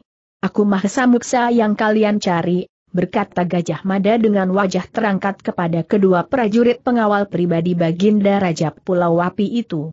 Ki Lurah Jangkung dan Ki Rangga Sujiwa terlihat menarik nafas panjang mendengar Gajah Mada dengan penuh keberanian menyebut namanya sendiri. Anak muda ini sungguh tidak punya rasa takut sedikit pun, berkata dalam hati Ki Lurah Jangkung dan Ki Rangga Sujiwa.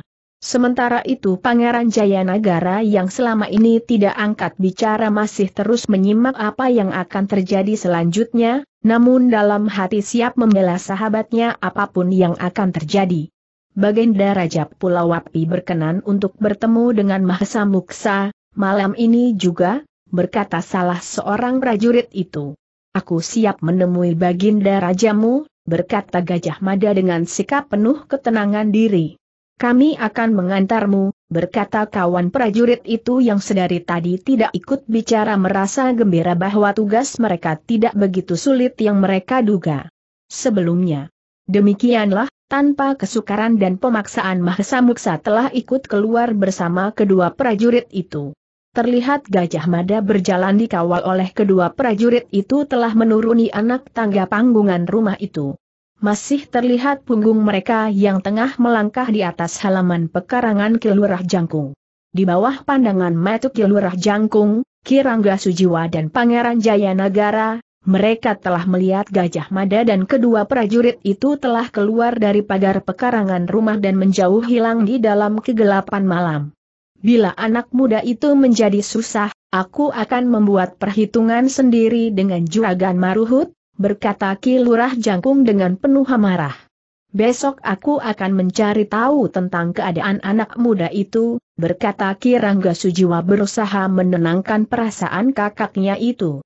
Benar, besok kita harus mencari tahu apa yang terjadi pada Mahasa Muksa, berkata Pangeran Jayanagara merasa siap membela apa pun yang terjadi dan menimpa pada diri sahabatnya itu.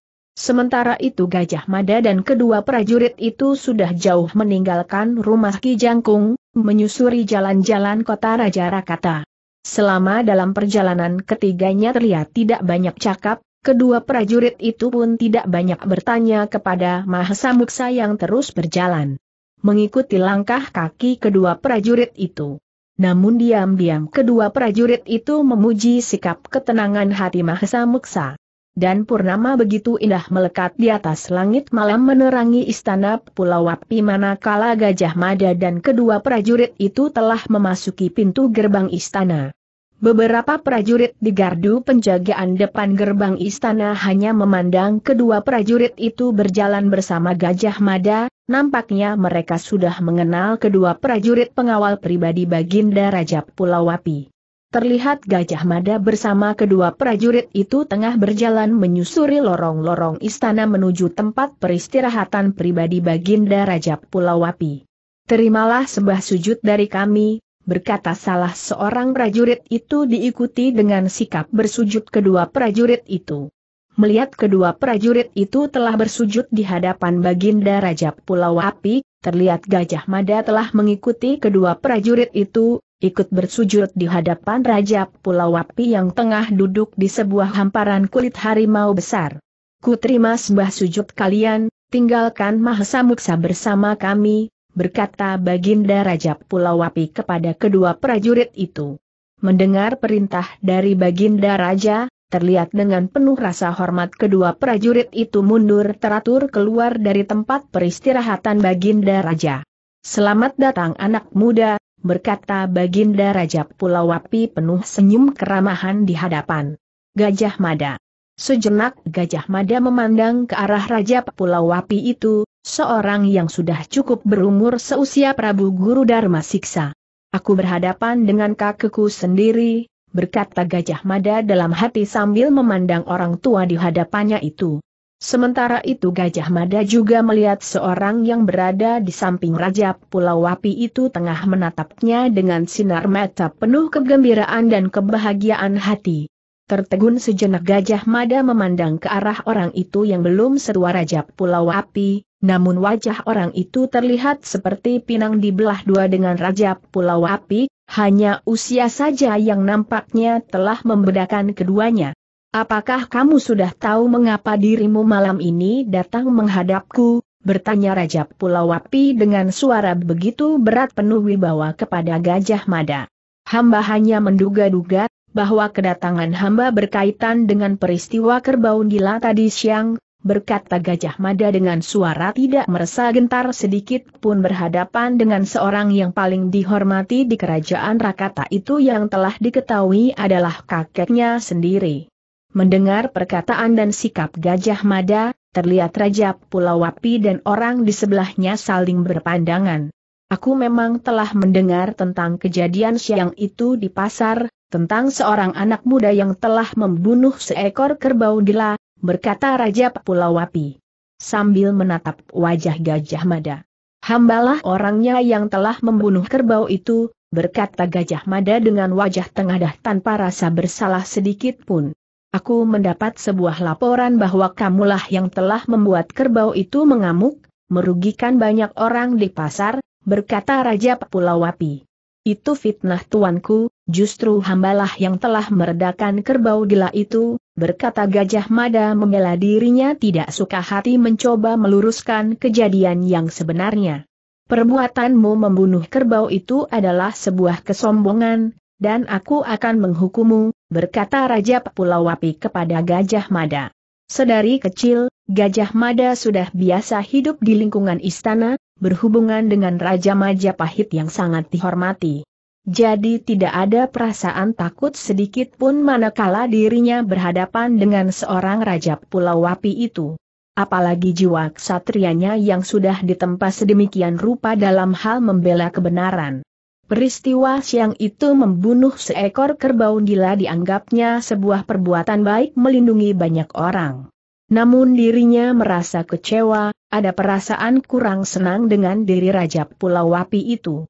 Namun dirinya agak menjadi heran dengan sikap orang di sebelah Raja Pulau Wapi itu, tidak pernah berpaling menatap dirinya dengan wajah selalu tersenyum, sepertinya perkataan Raja Pulau Wapi yang akan menghukum dirinya itu adalah sebuah perkataan biasa.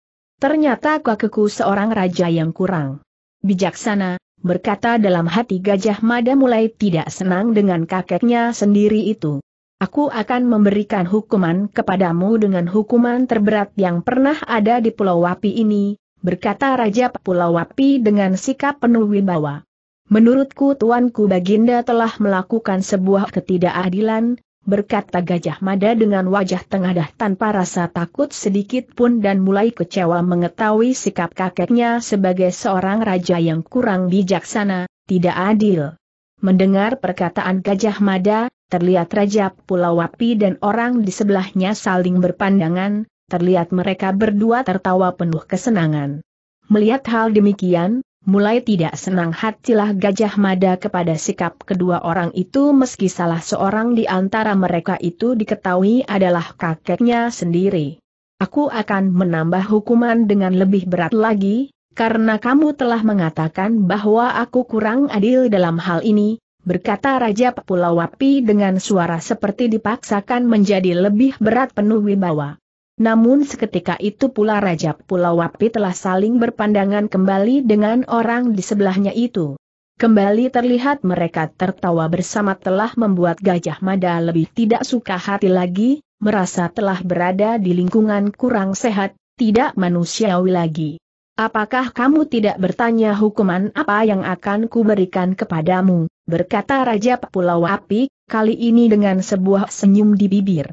Terlihat Gajah Mada memandang ke arah Raja Pulau Api, juga ke orang di sebelahnya itu. Hati Gajah Mada sudah mulai tidak suka kepada kedua orang di hadapannya itu. Menyayangkan bahwa telah menemui seorang kakek darah dagingnya sendiri yang mempunyai sikap kurang bijaksana, kurang adil menengahi sebuah masalah. Hukuman apa pun akan hamba terima dengan hati terbuka, berkata Gajah Mada dengan suara menahan rasa kecewa yang sangat. Aku akan menghukummu dengan sebuah keharusan, harus kamu laksanakan dengan penuh kesadaran hati, mulai saat ini kunobatkan dirimu untuk menjadi seorang panglima perang tertinggi di keprajuritan kerajaan Rakata ini, berkata Raja Pulau dengan masih tersenyum. Mendengar perkataan Raja Pulau Api, Gajah Mada seperti merasa tersentak kaget bukan kepalang, tidak menyangka sama sekali bahwa hukuman yang diterima adalah sebuah jabatan tertinggi di sebuah kerajaan. Terimalah wahai putraku, berkata orang di sebelah Raja Pulau Wapi yang selama itu belum mengangkat suara sedikit pun. Kembali Gajah Mada tersentak kaget mendengar suara orang itu, sebuah suara yang nampaknya sangat akrab di telinganya. Akulah ayahmu, yang kadang datang meski hanya lewat sebuah ajian pameling, berkata orang itu penuh senyum ke arah Gajah Mada. Gajah Mada memang tidak sangsi lagi, Suara orang itu terasa begitu dekat dengan hatinya, suara orang yang sangat dirindukan selama ini untuk dapat ditemuinya. Secara langsung, Ayah, berkata Gajah Mada sambil datang mendekat memeluk penuh kerinduan di tubuh orang itu yang ternyata adalah pendeta Dharma Raya, ayah dari Gajah Mada sendiri. Sembah dan sujudlah kepada kakekmu sendiri, wahai putraku, berkata pendeta Dharma Raya kepada Gajah Mada. Tanpa perintah kedua kalinya, terlihat Gajah Mada telah bersujud di hadapan Raja Pulau Api. Bangkitlah wahai cucundaku, sembah sujudmu telah kuterima, ayahmu telah membuka semua rahasia ini di saat usiaku sudah menjadi begitu rapuh. Sekian lama kesangsian ini hanya ada di dalam hati dalam penuh keraguan. Karena aku mendengar sendiri suara jerit tangis bayi laki-laki di dalam ruang persalinan Seng Permaisuri, namun seorang dukun bayi menyerahkan kepadaku seorang bayi perempuan kepadaku. Sebuah keanehan yang selama ini selalu menghantui setiap mimpi-mimpiku, berkata Raja Pulau Wapi penuh kehalusan hati seorang kakek kepada cucundanya. Sekarang, Seng Prahara itu telah datang kembali mendekati kita. Pendeta Rakanata yang telah berganti nama menjadi Ki Guntur Geni telah menghimpun sebuah kekuatan untuk merampas kerajaan kakekmu ini, berkata pendeta Dharma Raya kepada Gajah Mada. Aku juga telah menyaksikan sendiri perhara yang telah terjadi hampir di setiap langkah perjalanan orang itu. Demi sebuah kemanusiaan, aku siap menghadapinya, berkata Gajah Mada di hadapan ayah dan kakeknya. Jadi kamu bersedia menjadi seorang panglima perang di kerajaanku ini, bertanya Raja Pulau Api kepada Gajah Mada. Cucunda dengan senang hati menerimanya, wahai baginda Raja Pulau Api, berkata Gajah Mada penuh senyum merasa selama ini telah diperolok sendiri oleh kakek dan ayahnya itu yang telah mengetahui jati dirinya. Aku senang mendengarnya, wahai cucundaku, berkata Raja Pulau Api dengan wajah gembira. Dalam waktu singkat, semua orang di Pulau Wapi ini harus dapat merayakan pertemuan ini, merayakan kegembiraan kita bersama, berkata kembali Raja Pulau Wapi. Demikianlah, tiga lelaki anak beranak itu saling bercerita tentang diri masing-masing selama masa yang terpisah satu dengan yang lainnya itu. Sementara itu langit malam sudah mulai larut di atas istana Rakata. Ada sebuah rahasia yang juga kamu harus ketahui hari ini, wahai putraku, berkata pendeta Dharma Raya kepada Gajah Mada. Aku siap mendengarnya, wahai ayahandaku, berkata Gajah Mada dengan kening berkerut menunggu rahasia apa lagi yang akan disampaikan dan dibuka oleh ayahnya itu. Ibumu dan ayah angkatmu sendiri telah menyembunyikan nama aslimu yang sebenarnya. Itu semua mereka lakukan karena seperti itulah adat istiadat memperlakukan seorang anak yang terlahir di saat gerhana matahari. Saat ini kulihat dirimu sudah menjadi dewasa, saatnya kamu memikul namamu sendiri, wahai putraku, berkata pendeta Dharma Raya. Siapakah nama putramu ini, wahai ayahandaku, berkata Gajah Mada penuh perhatian. Namamu adalah Gajah Mada, karena kamu ditemui oleh ayah angkatmu bersama ibumu di hutan Mada di sebuah tanah yang indah di Bali Dwipa, berkata pendeta Dharma Raya bercerita tentang suasana keadaan Gajah Mada di saat beberapa hari setelah kelahirannya itu. Gajah Mada, berkata Gajah Mada menyebut sebuah nama. Gajah Mada, aku senang sekali dengan nama itu, berkata Raja Pulau Wapi memuja nama Gajah Mada. Sementara itu langit malam sudah semakin larut ditemani Dewi Purnama di atas istana Rakata. Terlihat tiga orang prajurit penjaga dengan terkantuk-kantuk berjalan menyusuri lorong-lorong istana memastikan bahwa malam itu tidak terjadi apa pun. Hari sudah larut malam, sebaiknya kalian beristirahat, berkata Raja Pulau Wapi kepada pendeta Dharma Raya dan Gajah Mada. Demikianlah, malam itu Gajah Mada diajak beristirahat di sebuah tempat di Istana Rakata itu bersama ayahnya sendiri. Di peraduannya Gajah Mada seperti tengah bermimpi, melihat suasana kamar yang sangat begitu elok sebagaimana kamar milik seorang pangeran. Aku adalah seorang pangeran, bertanya Gajah Mada dalam hati seperti meragukan keberadaannya saat itu. Namun akhirnya mimpi Gajah Mada seperti menjawab kesangsiannya sendiri, Gajah Mada malam itu telah tertidur dan bermimpi sebagaimana seorang pangeran di taman bunga istana bersama dua orang putri yang cantik elok rupa, siapa lagi dua putri itu bila bukan Andini dan dia Rara Wulan, dua wanita yang diam-diam telah menyelinap mewarnai hampir dalam setiap mimpi-mimpinya. Dan ketika pagi, Gajah Mada terbangun di kamarnya sendiri. Ternyata aku memang tidak bermimpi, berkata Gajah Mada di pagi itu masih berbaring di atas peraduannya di sebuah kamar yang sangat elok di Istana Rakata. Ada beberapa hal penting yang harus kita bicarakan bersama kakekmu, berkata pendeta Dharma Raya yang ditemui Gajah Mada di pagi itu ruang peringgitan. Izinkan Ananda menemui beberapa kawan. Ananda takut mereka menjadi khawatir bahwa Ananda tidak pulang ke rumah mereka semalam, berkata Gajah Mada kepada ayahnya.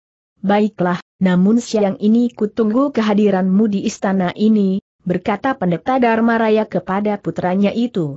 Demikianlah, Gajah Mada terlihat tengah menyusuri lorong-lorong dan jalan setapak di istana melihat suasana istana yang sedang dihias seperti akan melaksanakan sebuah upacara besar di pagi itu. Terlihat Gajah Mada hanya tersenyum seorang diri melihat semua itu.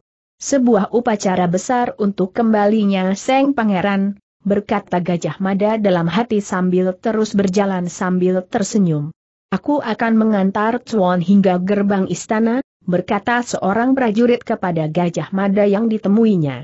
Terima kasih, berkata Gajah Mada kepada prajurit itu yang ternyata adalah salah seorang prajurit pribadi Raja Pulau Wapi yang semalam membawanya dari rumah Kilurah Jangkung. Ada bagusnya Gajah Mada berjalan bersama prajurit itu, pasti akan ada beberapa pertanyaan dari beberapa prajurit penjaga yang belum tahu siapa dirinya. Terlihat beberapa prajurit penjaga tidak bertanya apa pun ketika mereka berdua bersisipan jalan di lorong jalan istana. Siang ini aku akan kembali, berkata Gajah Mada kepada prajurit itu. Aku akan menunggumu, aku takut Tuan dipersulit masuk kembali ke istana ini, berkata prajurit itu kepada Gajah Mada penuh hormat. Ketika Gajah Mada telah keluar dari pintu gerbang istana, prajurit itu masih terus memandangnya. Aku belum tahu hubungan istimewa apa antara pendeta Dharma Raya dengan anak muda itu, berkata prajurit itu masih memandang punggung Gajah Mada yang terlihat masih terus melangkah menjauhi istana. Singkat cerita, Gajah Mada telah berada di halaman pekarangan rumah Kilurah Jangkung. Bukan main gembiranya hati Pangeran Jaya Negara dan Kilurah Jangkung melihat kehadiran anak muda itu.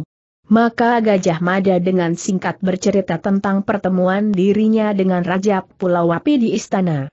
Sebuah pertemuan yang mengharukan, aku merasa gembira bahwa aku telah mendengar sendiri dari Tuan Pangeran, berkata Ki Lurah Jangkung dengan sikap berubah, tidak seperti semula menghadapi Gajah Mada.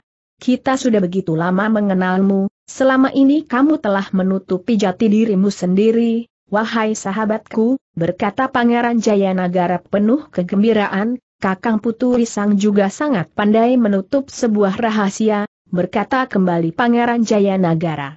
Aku perlu bantuanmu, sahabat, berkata Gajah Mada setelah bercerita tentang pendeta Rakanata yang tengah menyusun sebuah kekuatan untuk merebut istana Rakata. Aku siap berada di belakangmu, sahabatku, berkata Pangeran Jayanagara dengan wajah penuh kegembiraan. Ternyata rumahku ini telah disinggahi dua orang hebat dari tanah Majapahit, berkata Ki Lurah Jangkung penuh kebanggaan hati setelah mendengar beberapa cerita lain dari kedua anak muda itu, tentang pengembaraan mereka belum lama ini di Tanah Pasundan. Ada hal penting yang akan dibicarakan oleh ayahandaku bersama Raja Pulau Wapi di istana, berkata Gajah Mada ketika akan berpamit diri kembali ke istana. Seng permaisuriku sudah menyiapkan makan siang untuk kalian, berkata Ki Lurah Jangkung kepada Gajah Mada. Masih ada banyak waktu, aku akan sering datang menunggu masakan nyelurah, berkata Gajah Mada. Sambil tersenyum. Demikianlah, Gajah Mada terlihat telah berjalan keluar dari halaman pekarangan rumah Kilurah Jangkung kembali ke Istana Rakata. Ketika Gajah Mada berada di muka gerbang istana, seorang prajurit datang menyongsongnya. Terima kasih telah menungguku, berkata Gajah Mada kepada prajurit itu yang sudah dikenalnya itu. Aku akan mengantarmu hingga pintu peristirahatan Baginda Raja, berkata prajurit itu kepada Gajah Mada. Terlihat mereka telah berjalan bersama menyusuri lorong-lorong jalan di Istana Rakata. Sementara itu, di luar istana, terlihat dua orang lelaki tengah mengamati suasana di sekitar Istana Rakata. Nampaknya akan ada sebuah upacara besar di istana, berkata salah seorang di antara mereka. Ki Guntur Geni pasti senang mendapat berita ini, sebuah celah menghancurkan mereka di saat lengah, berkata kawannya. Kita harus tahu kapan mereka akan melaksanakan upacara besar itu, berkata salah seorang di antara mereka. Terlihat kedua orang itu terus berjalan melewati pintu gerbang istana dan tetap berjalan sebagaimana orang lainnya yang hanya kebetulan lewat. Kedua orang itu memang terus berjalan berbaur dengan beberapa lalu lalang keramaian jalan di kota Raja Rakata yang masih cukup ramai di siang itu. Kedua orang itu telah tidak terlihat lagi, entah ke mana. Sementara itu, Gajah Mada sudah berada di tempat peristirahatan Raja Pulau Wapi. Sudah hadir di sana ayahandanya sendiri, Pendeta Dharma Raya. Kakekmu telah memerintahkan seorang Mahapatih untuk menyiapkan kekancingan dirimu menjadi seorang panglima perang di kerajaan Rakata, tentunya dengan sebuah upacara besar agar semua orang mengetahui bahwa dirimu adalah bagian dari keluarga istana, berkata pendeta Dharma Raya berhenti sebentar sambil menarik nafas panjang. Terlihat Gajah Mada diam mendengarnya, mengetahui masih ada hal lain lagi yang akan disampaikan oleh ayahandanya itu. Namun ada hal lain lagi yang akan kami sampaikan kepadamu, menyangkut tentang suasana yang terus berkembang di kerajaan ini, berkata pendeta Dharma Raya kepada Gajah Mada. Terlihat Gajah Mada menarik nafas panjang, menduga-duga apa gerangan yang akan disampaikan oleh ayahandanya itu. Sementara itu Raja Pulau Wapi tetap diam di tempatnya sebagaimana Gajah Mada mendengarkan apa yang akan disampaikan oleh putranya, Pendeta Dharma Raya. Saat ini istana kita tengah dibayang-bayangi oleh sebuah kekuatan gelap, sebuah kekuatan yang dipimpin oleh Pendeta Rakanata yang telah berganti nama sebagai Ki Guntur Geni itu. Kekuatan itu dapat bergerak kapan pun. Namun sudah dapat kupastikan bahwa mereka sudah berada mengintai di sekitar istana ini, berkata pendeta Dharma Raya kepada Gajah Mada. Sebuah kekuatan gelap, bertanya Gajah Mada. Kepada ayahandanya itu. Kukatakan kekuatan mereka sebagai sebuah kekuatan gelap, karena mereka telah berbaur bersama di antara para penghuni kota Raja Rakata ini, berkata pendeta Dharma Raya menjelaskan perkataannya tentang sebuah kekuatan gelap pimpinan Ki Guntur Geni itu. Gerakan gelap mendem, berkata Gajah Mada tidak sadar keluar dari bibirnya. Kamu sudah mengerti maksudku, wahai putraku, berkata pendeta Dharma Raya tersenyum kepada putra tunggalnya itu. bersiaplah, aku dan ayahmu telah menyiapkan sebuah kera, memancing mereka keluar dari persembunyiannya, berkata Raja Pulau Wapi ikut ambil bicara. Terlihat Gajah Mada mengangguk-anggukan kepalanya, merasa yakin bahwa ayah dan kakeknya ini telah mempunyai sebuah cara menghadapi kekuatan Ki Guntur Geni itu. Kami akan memancing mereka dengan sebuah upacara kekancingan dirimu sebagai seorang panglima perang di kerajaan Rakata, berkata pendeta Dharma Raya kepada putranya Gajah Mada. Hari ini kami telah memerintahkan Rangga Sujiwa membawa keluar pasukannya dari istana. Mereka adalah pasukan senyap kita yang akan menghantam musuh dari arah belakang.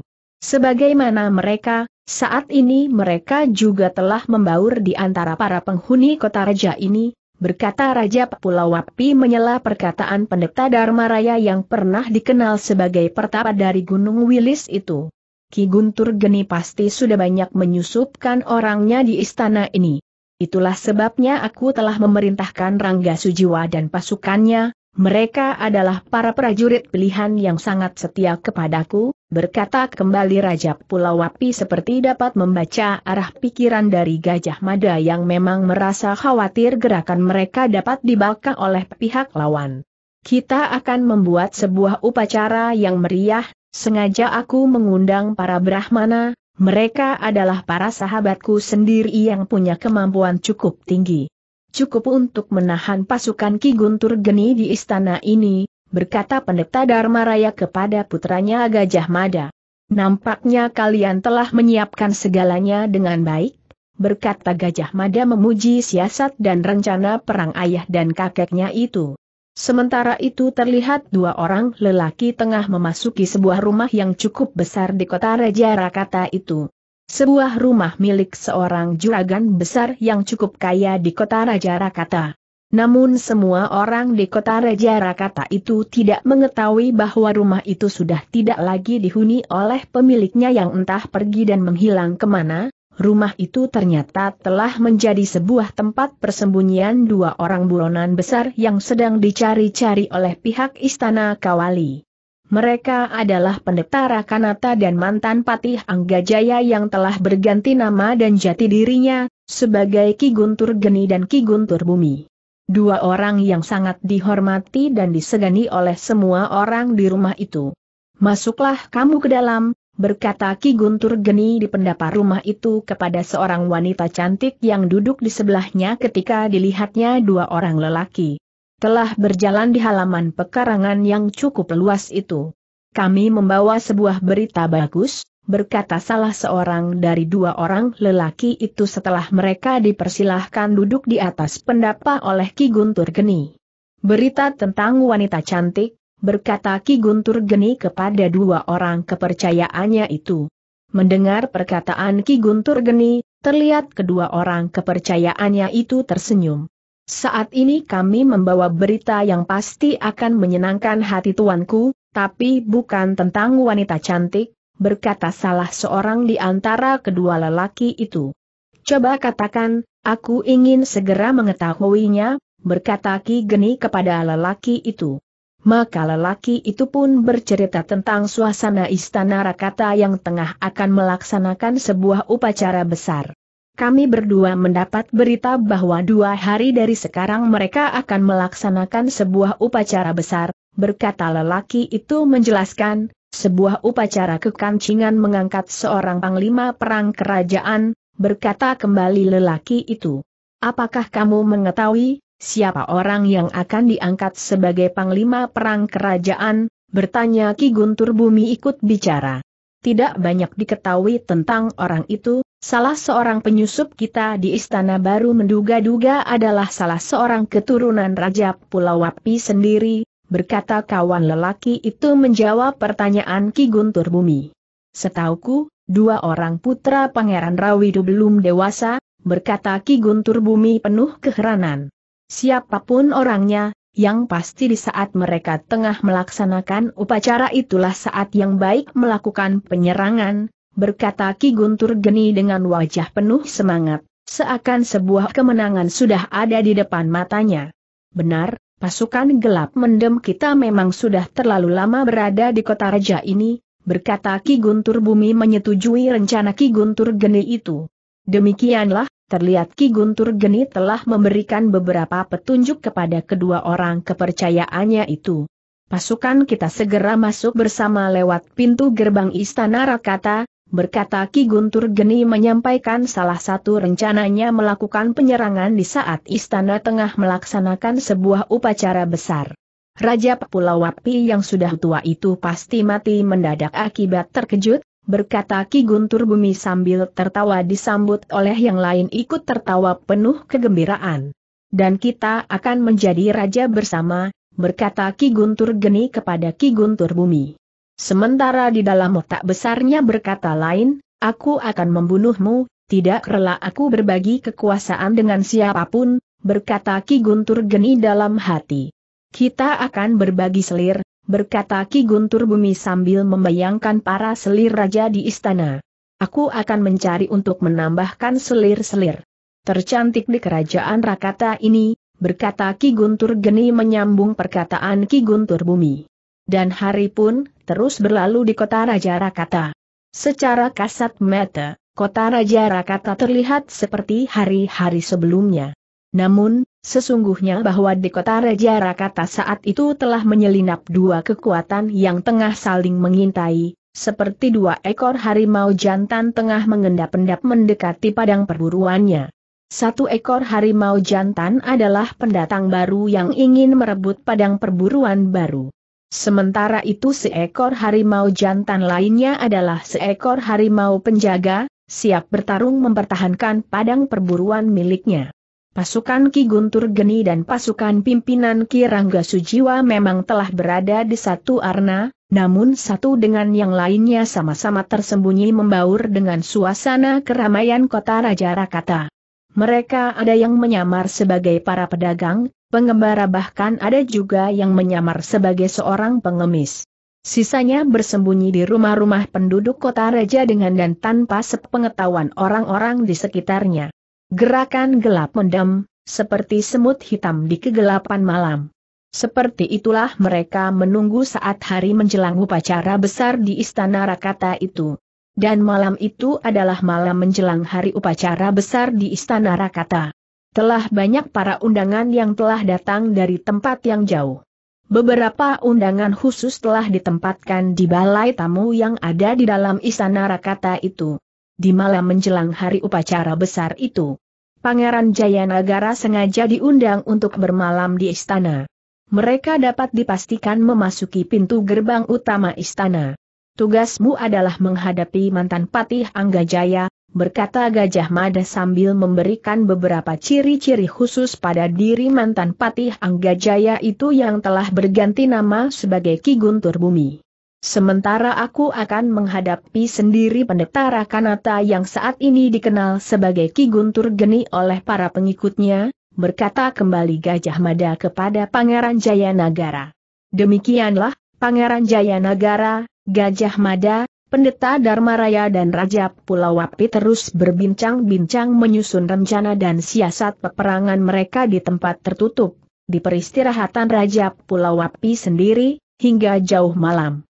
Sepuluh Brahmana para sahabat dekatku akan membantu kita mempertahankan istana, menunggu pasukan Rangga Sujiwa keluar dari persembunyiannya, berkata pula pendeta Dharma Raya.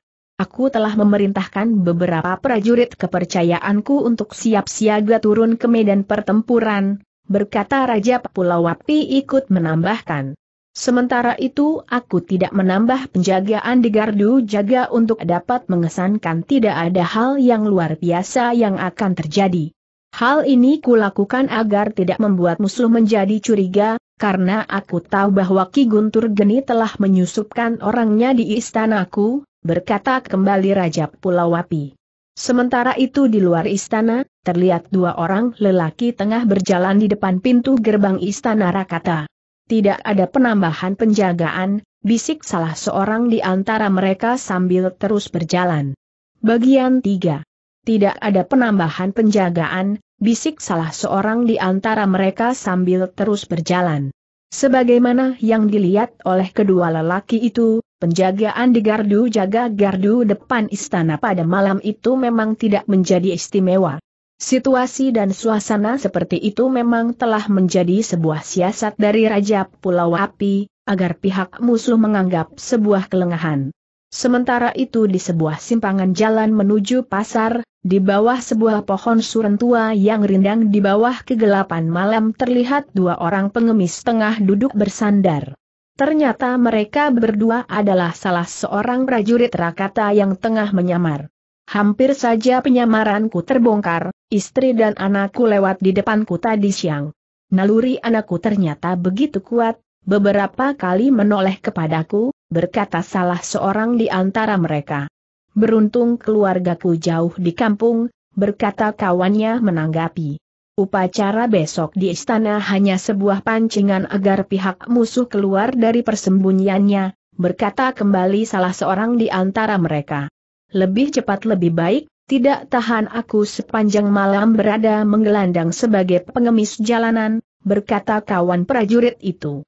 Aku juga berharap yang sama, berkata prajurit itu kepada kawannya.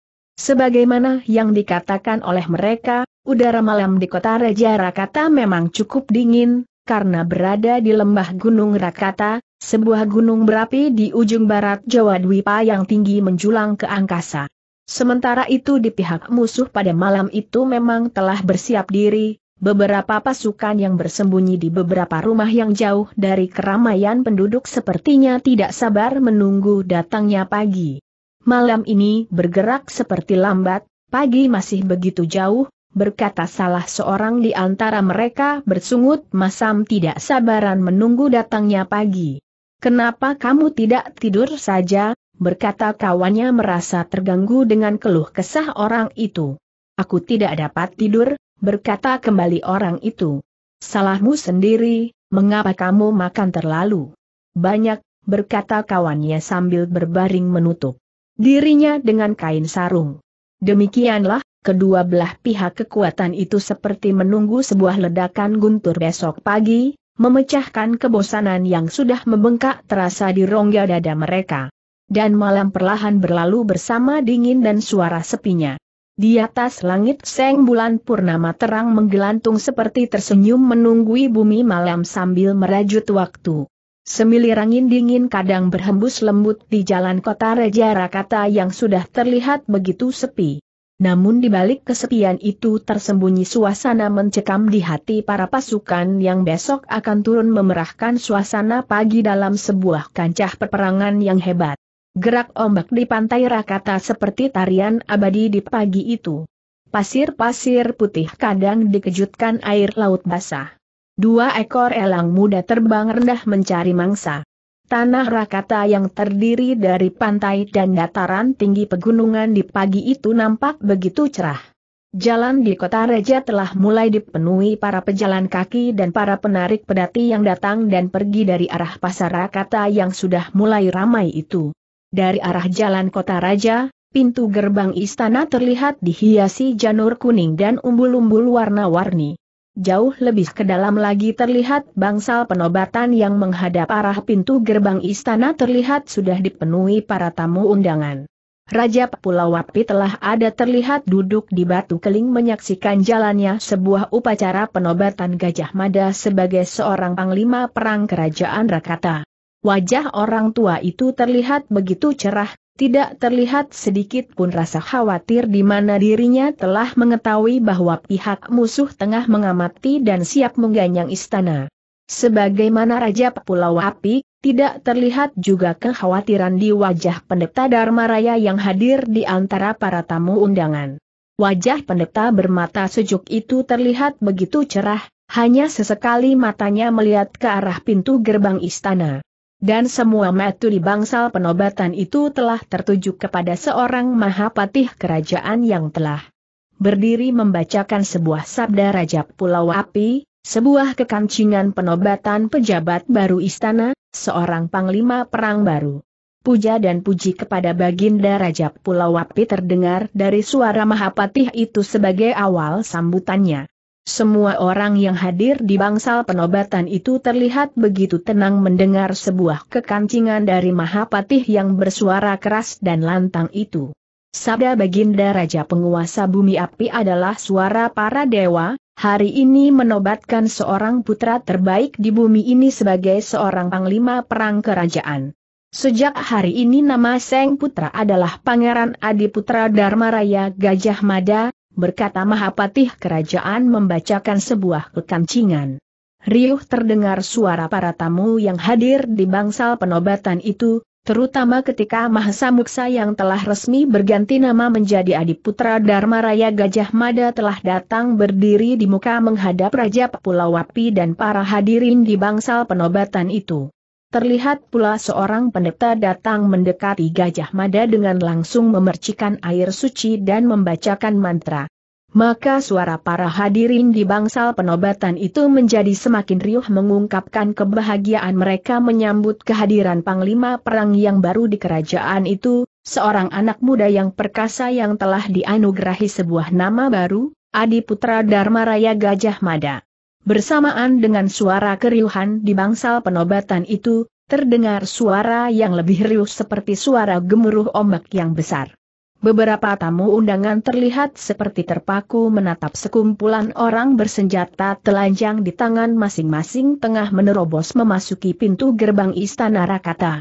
Melihat sekumpulan orang liar telah memasuki istana, beberapa prajurit yang memang telah disiapkan langsung datang menghadang banjir bandang pasukan liar itu. Musuh kita telah menangkap kail pancingan, berkata pendeta Dharma Raya kepada Pangeran Jayanagara sambil langsung melompat terbang melesat ke arah para pasukan musuh yang terus menerjang hadangan para prajurit istana. Kehadiran pendeta Dharma Raya sedikit membantu menahan terjangan para musuh yang datang seperti air banjir bandang itu. Melihat pendeta Dharma Raya sudah bergerak, terlihat sepuluh orang Brahmana datang langsung terjun menahan laju gelombang terjangan para musuh. Kehadiran pendeta Dharma Raya dan kesepuluh Brahmana sahabat dekatnya itu memang telah dapat menahan terjangan para musuh, namun gelombang serangan para musuh menjadi terpecah melebar. Hancurkan istana ini, berteriak lantang seorang lelaki tua sambil menendang seorang prajurit istana yang kebetulan datang menghadangnya. Kita bertemu kembali, wahai pendeta Rakanata alias Guntur Geni atau siapa pun namamu hari ini, berkata, Seorang anak muda yang tiba-tiba saja telah datang menghadangnya. Kamu lagi berkata orang tua itu menatap tajam anak muda di depannya yang ternyata adalah Gajah Mada. Ternyata kamu masih mengenaliku, berkata Gajah Mada kepada orang itu yang ternyata adalah tidak lain dari pendeta Rakanata atau yang dipanggil Ki Guntur Geni oleh para pengikutnya itu. Ternyata wajahmu adalah pertanda kesialanku, Bersiaplah kamu untuk mati hari ini agar tidak ada lagi kesialan dalam hari-hariku berkata Ki Guntur Geni sambil langsung menerjang Gajah Mada dengan sebuah serangan yang begitu cepat, kuat dan keras. Ternyata Ki Guntur Geni memang berniat menghabisi nyawa anak muda di depannya itu, seorang anak muda yang masih diingatnya telah menggagalkannya untuk menculik Andini di rumah Patih Anggajaya dan telah menggagalkannya menyerang istana Kawali. Melihat serangan awal yang begitu kuat itu tidak membuat panik seorang gajah mada. Anak muda itu terlihat dengan tenang telah berkelit ke samping menghindari tendangan lawannya. Tenaga orang ini sudah berlipat ganda berkata Gajah Mada dalam hati merasakan angin tendangan lawannya yang jatuh di tempat kosong. Segera Gajah Mada telah melambari dirinya dengan kesaktian tenaga jati dirinya, langsung membuat sebuah serangan balasan. Seperti angin topan tenaga gajah mada menghempas pinggang tubuh lawannya telah membuat Ki Guntur geni. Berkelit jauh, tidak menyangka pukulan anak muda itu begitu kuat dan keras dirasakan dalam angin pukulannya. Demikianlah, serang dan balas menyerang telah berlangsung dengan sangat kuat dan cepatnya antara Ki Guntur Geni dan Gajah Mada. Mereka seperti berlomba terus meningkatkan tataran ilmu mereka setahap demi setahap agar dapat saling mengimbangi bahkan melampaui kekuatan dan kecepatan lawan masing-masing. Seperti dua raksasa kanuragan, pertempuran mereka menjadi terpisah dari yang lainnya.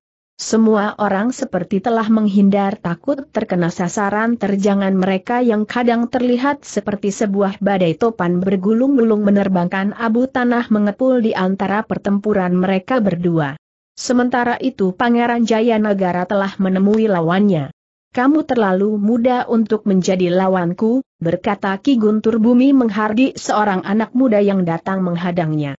Jangan melihat umur lawanmu, kamu akan menyesal, berkata Pangeran Jayanagara sambil tersenyum siap menghadapi serangan Ki Guntur Bumi yang terlihat sangat ganas penuh kebencian telah banyak merobohkan para prajurit Rakata yang datang menghadangnya. Mampuslah kamu seperti mereka, berkata Ki Guntur Bumi menganggap Pangeran Jayanagara seperti beberapa prajurit Rakata yang telah dirobohkannya itu.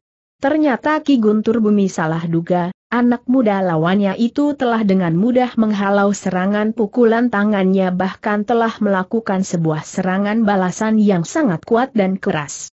Gila, berkata Ki Guntur Bumi sambil melompat menghindari terjangan tendangan Pangeran Jayanagara.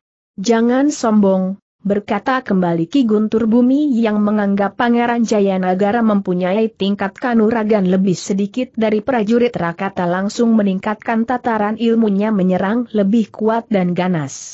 Kembali Ki Guntur Bumi dibuat kecewa, serangannya dengan mudah dielakkan oleh Pangeran Jayanagara bahkan kembali melakukan serangan balasan lebih kuat dan cepat lagi mengarah di tempat yang kosong dan terbuka dari tubuhnya. Gila, kembali keluar sumpah serapah dari lelaki pemarah itu berusaha melompat jauh menghindari serangan kuat dari Pangeran Jayanagara. Terbukalah Metuki Guntur Bumi bahwa anak muda yang menjadi lawannya itu bukanlah orang sembarangan. Maka telah meningkatkan tataran ilmunya dari sebelumnya. Melihat serangan Ki Guntur Bumi dengan tataran ilmunya yang lebih kuat dan cepat itu telah membuat Pangeran Jayanagara lebih berhati-hati lagi dengan melambari dirinya dengan kesaktian tenaga sejati, melindungi hawa panas yang dirasakan lewat angin serangan mantan patih kawali itu. Bukan main kecewanya hati Ki Guntur Bumi melihat anak muda itu tidak kesulitan dengan serangan. Serangannya Hawa panas yang terpancar lewat angin pukulannya itu seperti pudar tenggelam.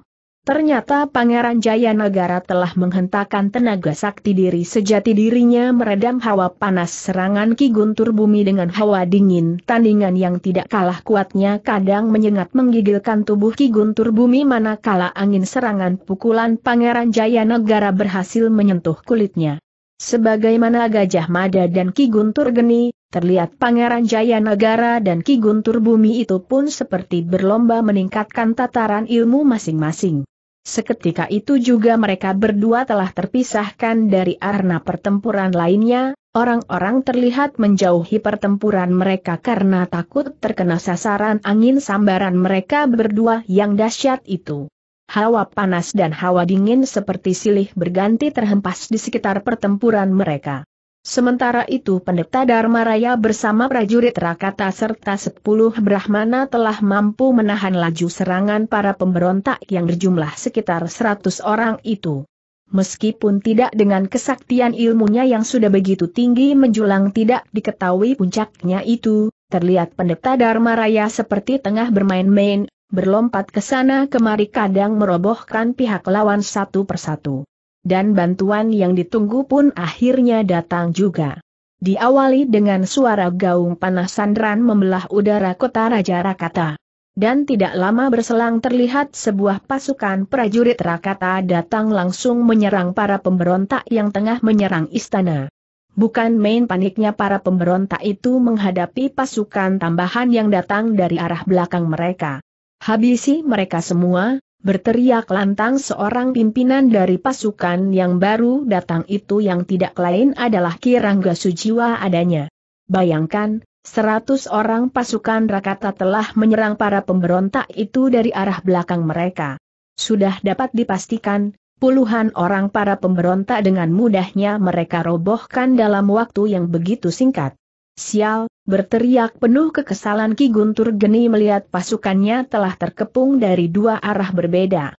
Penipu ulung, berteriak juga Ki Guntur Bumi menyadari bahwa mereka ternyata sudah terjebak dalam sebuah siasat perang Raja Pulau Api.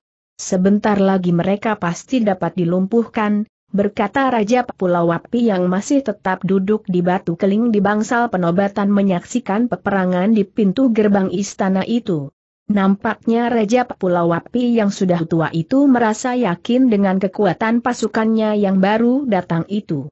Sebagaimana yang diperkirakan oleh Raja Pulau Api, terlihat dengan kedatangan pasukan Kirangga Sujiwa. Jumlah para pemberontak seketika langsung menyusut tajam. Matahari di atas istana Rakata terlihat sudah naik sepenggalan, pertempuran dua kekuatan itu masih terus berlangsung meski sudah hampir dapat dipastikan bahwa pihak istana berada di atas angin. Terlihat mayat bergelimpangan di sekitar muka gerbang istana, juga beberapa orang yang terluka parah tidak dapat bangkit untuk mengangkat senjata lagi. Mereka para korban itu sebagian besar dari para pemberontak yang berhasil dilumpuhkan oleh para prajurit Rakata yang baru datang. Dan akhirnya jumlah para pemberontak memang semakin berkurang tinggal beberapa gelintir orang yang masih terus bertahan. Terlihat pendeta Dharma Raya dan sepuluh Brahmana sudah tidak punya lawan lagi, membiarkan sisa para pemberontak dikepung oleh para prajurit Rakata. Menyerahlah kamu, berkata seorang prajurit Rakata merasa jengkel kepada seorang pemberontak yang masih terus bertahan meski terlihat luka darah di tubuhnya sudah begitu banyak. Plok! Sebuah tangan yang kuat telah menghantam wajah orang itu yang langsung jatuh terpelanting. Dasar keras kepala, berkata seorang prajurit Rakata sambil menendang senjata orang yang sudah tergeletak itu dari genggamannya. Sementara itu Gajah Mada dan Pangeran Jayanagara masih sibuk menghadapi lawan-lawan mereka. Dua. Orang pentolan para pemberontak yang juga menjadi buronan mereka. Terlihat dua pertempuran terpisah di Istana Rakata disaksikan hampir semua orang di mana para pemberontak sudah dapat dilumpuhkan semuanya. Ajian muncang kuning akan menyerap habis hawa murni anak setan ini, berkata Ki Guntur Geni dalam hati merasa kesal tidak juga dapat menundukkan Gajah Mada. Ternyata pikiran yang sama juga ada dalam hati Ki Guntur Bumi. Namun pikiran kedua orang itu nampaknya sudah diperhitungkan oleh kedua anak muda itu yang juga telah menyiapkan ajian yang sama, ajian muncang kuning secara terbalik. Ilmu apa yang dimiliki anak setan ini, berkata dalam hati Ki Guntur Geni manakala tangan mereka beradu namun ajian muncang kuningnya tidak berhasil menyerap hawa murni lawannya itu. Ajianku menjadi mandul, berkata pula Ki Guntur Bumi dalam hati manakala telah menerapkan ajian muncang kuning menghadapi Pangeran Jaya Nagara. Melihat ajian mereka tidak bergeming menghadapi kedua anak muda itu, mereka telah meningkatkan tataran puncak mereka masing-masing. Luar biasa memang tenaga sakti Ki Guntur Geni dan Ki Guntur Bumi yang telah mencuri banyak hawa murni orang-orang sakti selama ini.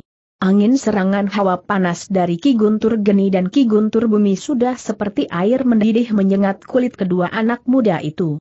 Tidak ada jalan lain yang dipikirkan oleh kedua anak muda itu selain mengeluarkan ajian andalan mereka yang telah diwariskan oleh Prabu Guru Dharma Siksa. Ajian Sakti Muncang Kuning, berkata Pendeta Dharma Raya dalam hati manakala melihat kedua anak muda itu telah melakukan sebuah gerak yang sama. Pada saat itu Pendeta Dharma Raya telah melihat kedua anak muda itu melompat menjauhi lawan masing-masing sekitar sepuluh langkah. Ketika kaki mereka menginjak tanah, langsung keduanya meregangkan kedua kaki serta merangkapkan kedua tangan mereka di depan dada terlihat sebuah tangan dari kedua anak muda itu telah menjulur ke depan. Gerakan kedua anak muda itu begitu cepat, tiba-tiba saja seleret cahaya warna kuning seperti lidah api menjulur keluar dari telapak tangan yang terbuka dari kedua anak muda itu. Ki Guntur Geni dan Ki Guntur Bumi tidak sempat bergerak sedikit pun, gerakan kedua anak muda itu begitu cepat tak terlihat oleh kasat mata.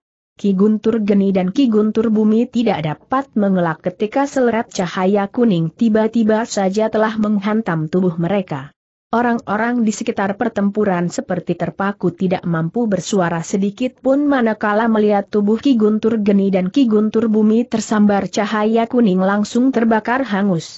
Gajah Mada yang melihat korban akibat ajian muncang kuning ikut menjadi terpana dan terpaku di tempatnya, tidak menyangka ajian muncang kuning. Begitu dahsyat telah dilontarkannya. Di hadapannya tubuh Ki Guntur Geni sudah berubah menjadi setumpuk abu. Penaga sakti orang ini telah begitu hebat, tidak ada jalan lain untuk menyelamatkan diriku sendiri, berkata Pangeran Jayanagara manakala melihat tubuh Ki Guntur bumi telah menjadi gosong seperti kayu kering hangus terbakar akibat hawa panas ajian muncang kuning yang telah dihentakannya itu. Mereka berdua telah memiliki ajian sakti leluhur Raja Pasundan, berkata pendeta Dharma Raya yang punya pengetahuan luas mengenal ajian sakti muncang kuning itu kepada salah seorang Brahmana sahabatnya. Ternyata, Tewasnya dua pentolan pemberontak itu menjadi akhir dari pertempuran itu. Terlihat mayat-mayat bergelimpangan tergeletak di tanah bersama beberapa orang lagi yang terdengar mengerang menahan rasa sakit yang sangat akibat luka bacokan dan sayatan senjata tajam. Beberapa orang prajurit terlihat telah mengumpulkan mayat-mayat korban pertempuran itu. Sebagian lagi mengumpulkan orang-orang yang terluka. Tidak ada banyak korban di pihak prajurit Rakata, mereka yang tewas dalam pertempuran itu dapat dihitung jari. Terima kasih telah menyelamatkan istanaku, berkata Raja Pulau Wapi yang datang menghampiri Gajah Mada dan Pangeran Jayanagara. Sementara itu matahari di atas istana Rakata terlihat telah merayap mendekati puncak singgasananya. 2. Ekor elang tua terlihat terbang tinggi menuju tebing tinggi menghilang di ujung batas penglihatan. Telah banyak korban di tangan kedua orang itu. Petualangan hitam mereka telah berakhir di ujung barat Jawa Dwipa ini.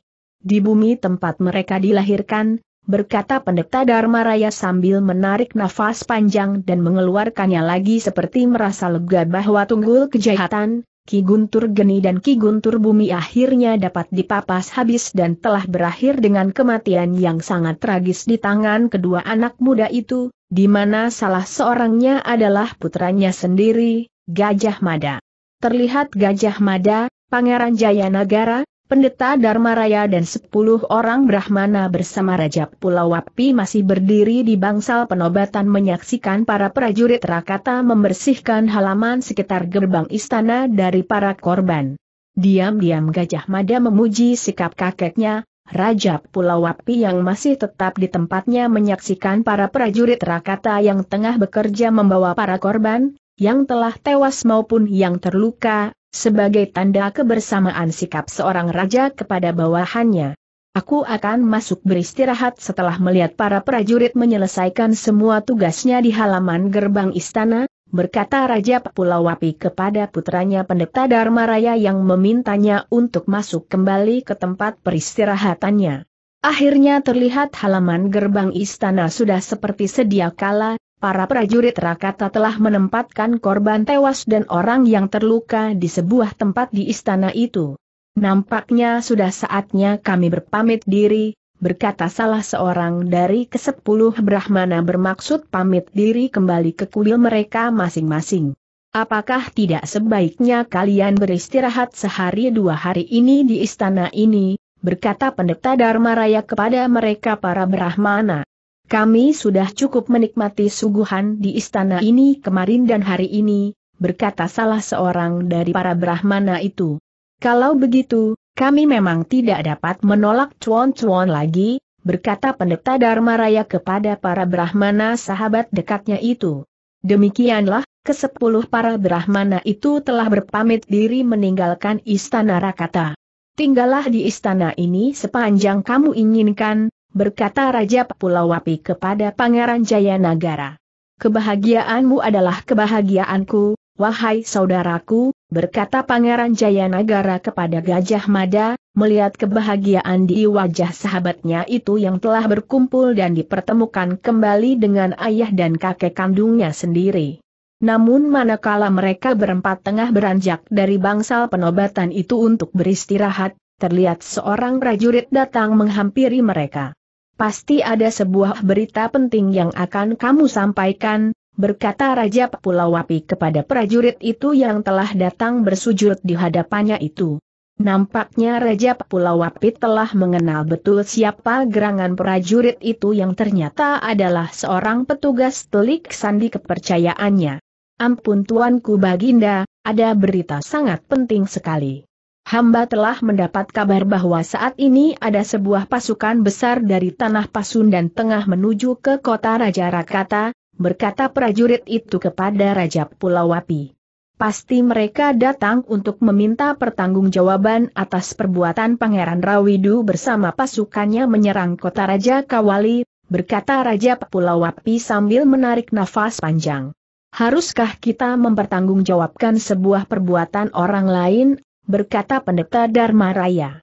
Apa pun alasan kita, pihak Pasundan tidak akan menerimanya. Mereka pasti menyangka pasukan Rakata yang telah datang menyerang itu atas restu dariku, berkata Raja Pulau Wapi sambil memandang ke arah gerbang istana dengan pandang mata kosong, entah apa gerangan yang dipikirkannya saat itu. Gajah Mada dapat membaca suasana perasaan kakeknya itu, ikut menjadi kasihan dan prihatin. Bila saja aku dapat mendatangi mereka, mungkin perkataanku dapat mereka dengar, berkata Gajah Mada menawarkan dirinya untuk menemui pemimpin pasukan Pasundan itu. Terlihat Raja Pulau Wapi dan Pendeta Dharma Raya memandang ke arah Gajah Mada, mereka merasa ragu apakah pemimpin pasukan Pasundan mau mendengar perkataan Gajah Mada. Kami pernah membantu prajurit tanah Pasundan menghadapi pasukan Pangeran Rawidu, berkata Pangeran Jaya Negara ikut bicara meyakinkan Raja Pulau. Api dan pendeta Dharma Raya atas keinginan Gajah Mada mendatangi pemimpin pasukan dari tanah Pasundan itu. Kebetulan sekali kami sangat dekat dengan keluarga Istana Kawali, mudah-mudahan kami juga mengenal pemimpin pasukan dari tanah Pasundan itu, berkata Gajah Mada kepada kakek dan ayahandanya itu. Gajah Mada dan Pangeran Jaya Negara telah mewarisi ajian leluhur para Raja Pasundan, pastilah mereka berdua memang begitu dekat dengan keluarga Istana Kawali, berkata pendeta Dharma Raya dalam hati mempercayai perkataan Gajah Mada dan Pangeran Jaya Negara.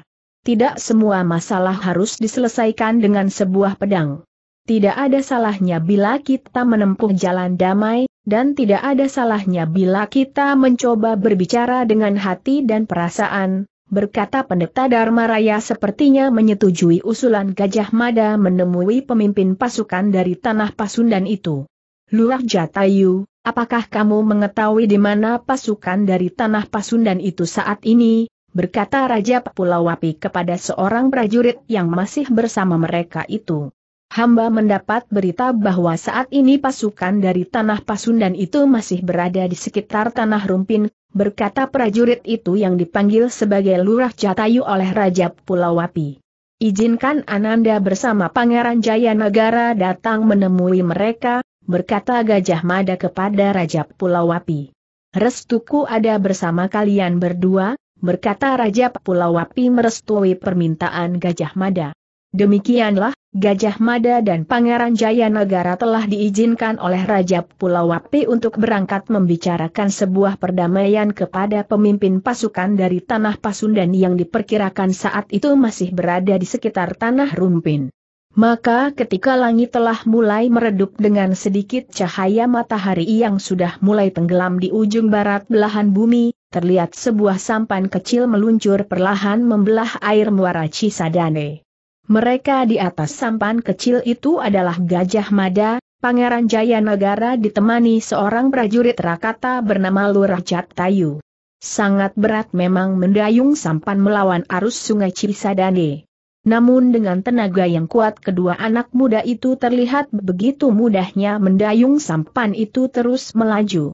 Tenaga kedua anak muda ini sangat luar biasa, berkata Lurah Catayu dalam hati memuji kekuatan tenaga kedua anak muda yang terus mendayung seperti tidak merasa lelah sedikit pun. Terlihat perahu sampan kecil itu sudah semakin jauh meninggalkan muara sungai Cisadane, masuk semakin menjauh menyusuri sungai malam yang sudah mulai gelap hanya diterangi cahaya rembulan di atas langit yang seperti setia terus mengikuti mereka sepanjang perjalanan malam itu. Dan sampan kecil itu memang terus melaju di sungai Cisadane melawan arus aliran sungai sepanjang malam itu. Di kiri kanan sungai itu pemandangan hanya berupa kegelapan malam manakala mereka melewati hutan belukar yang lebat. Perlahan sang malam berjalan menyusuri sungai waktu menuju sisi hulu sumber mata air di ujung pagi manakala matahari abadi terbangun mengintip tirai langit merah. Melenggut sayup suara ayam jantan terdengar dari sebuah tempat yang jauh bersahut-sahutan. Perlahan, warna langit pun terlihat telah terbuka terang mengusir sisa embun pagi bening. Suara kicau burung-burung kecil begitu merdu memenuhi udara di atas sungai pagi itu. Kita beristirahat di ujung sana, berkata Gajah Mada sambil menunjuk sebuah tanah datar di sebuah tepian sungai Cisadane. Terlihat sampan kecil itu telah menepi di sebuah tanah datar di tepian sungai itu.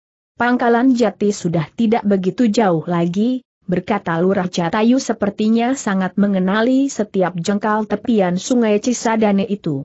Kita pulihkan tenaga kita dulu, berkata Gajah Mada sambil bersandar di batang pohon besar. Tidak beberapa lama beristirahat, mereka akhirnya telah melanjutkan perjalanan kembali. Matahari terlihat sudah mulai merangkak naik ketika mereka akhirnya sampai di Pangkalan Jati, sebuah jalan terakhir dari sungai Cisadane yang dapat dialiri dengan perahu, selebihnya masih banyak jalan air yang terjal berbahaya. Terlihat Lurah Catayu tengah berbicara dengan seorang kenalannya di pangkalan jati itu, ternyata Lurah Catayu meminta bantuan orang itu untuk menitipkan sampan kecil mereka. Untuk mencapai hutan rumpin, mereka harus mendaki sebuah jalan yang cukup terjal. Kita sudah berada di hutan rumpin, berkata Lurah Catayu sambil menoleh ke bawah melihat sungai Cisadane seperti seekor naga besar berliku dan berkelok panjang jauh sampai batas mati memandang. Berhati-hatilah, berkata Gajah Mada yang sudah peka naluri dan ketajaman panca inderanya, telah merasakan bahwa ada begitu banyak mata, tengah mengintai mereka. Masih basah perkataan Gajah Mada, tiba-tiba saja dari semak belukar telah keluar beberapa orang yang langsung mengepung mereka. Berhenti dan katakan siapa kalian, berkata salah seorang di antara mereka. Sejak kapan di hutan rumpin setiap orang harus mengatakan jati dirinya? Berkata Gajah Mada tersenyum setelah mengetahui bahwa yang tengah mengepung mereka itu adalah para prajurit dari Tanah Pasundan. Jawab pertanyaanku, bukan balas bertanya, berkata kembali orang itu dengan suara membentak keras. Kami datang untuk menemui pemimpin kalian, berkata Gajah Mada dengan suara datar. Mendengar perkataan Gajah Mada, orang yang membentak itu sedikit terkejut, langsung mengamati Gajah Mada dari ujung kaki sampai ke atas kepala. Apa kepentinganmu menemui pemimpin kami? Bertanya orang itu penuh kecurigaan. Bawalah kami ke pemimpinmu, kepadanya lah aku akan menyampaikan kepentingan kami, berkata Gajah Mada kepada orang itu masih dengan suara datar tanpa rasa takut sedikit pun. Terlihat orang itu seperti gemetaran, hatinya seperti berkerut kecut. Ternyata diam-diam Gajah Mada telah mengerahkan tenaga sakti sejati dirinya lewat suara dan tatapan matanya. Mari kuantar kalian menemui pimpinan kami, berkata prajurit itu seketika untuk menutupi rasa kecut hatinya yang bergetar manakala menangkap kilatan cahaya mata Gajah Mada yang begitu tajam langsung menciutkan perasaan jiwanya. Terlihat Gajah Mada, Pangeran Jaya Negara dan Lurah Catayu telah mengikuti langkah kaki seorang prajurit di depan mereka diikuti beberapa prajurit yang berjalan di belakang mereka bertiga. Selamat bertemu kembali Kirangga Kidang Telangkas, berkata Gajah Mada ketika mereka telah berada di sebuah barak besar di tengah hutan rumpin itu. Terkejut orang yang dipanggil namanya sebagai Kirangga Kidang Telangkas itu oleh Gajah Mada. Ternyata Baginda Raja Raga Suci telah mengirim Tuan berdua berjuang bersama pasukanku, sebuah kebanggaan hati ada bersama Tuan-Tuan, berkata Kirangga Kidang Telangkas menyambut kedatangan mereka. Terima kasih masih mengenal kami, berkata Gajah Mada kepada pemimpin pasukan itu. Terlihat beberapa orang prajurit saling berpandangan mata, tidak menyangka bahwa pemimpin mereka itu telah mengenal dua orang yang mereka bawa itu, bahkan terlihat begitu menghormatinya. Maaf Kirangga, kami datang bukan sebagai utusan Baginda Raja Raga Suci. Namun kami datang kali ini sebagai utusan langsung Baginda Raja Rakata, berkata Gajah Mada sambil tersenyum. Aku jadi tidak mengerti, berkata Kirangga Kidang Telangkas dengan wajah penuh ketidakmengertian. Perlahan Gajah Mada menjelaskan maksud kedatangannya di hutan rumpin itu kepada Kirangga Kidang Telangkas. Raja Pulau Wapi sampai saat ini masih mengakui kedaulatan dan kekuasaan kerajaan Kawali. Pemberontakan Pangeran Rawidu bukan menjadi tanggung jawabnya, karena beliau sendiri tidak merestuinya. Percayalah kepadaku, kedatangan Kirangga bersama pasukan besar ini akan disambut dengan perjamuan kehormatan agung, bukan dengan pedang dan lembing. Itulah tanda bahwa Raja Pulau Wapi masih setia menjunjung tinggi kedaulatan kerajaan Tanah Pasundan Raya, berkata Gajah Mada meyakinkan Kirangga Kidang Telangkas. Aku kagum dengan Tuan berdua, masih muda dan mempunyai kemampuan tinggi.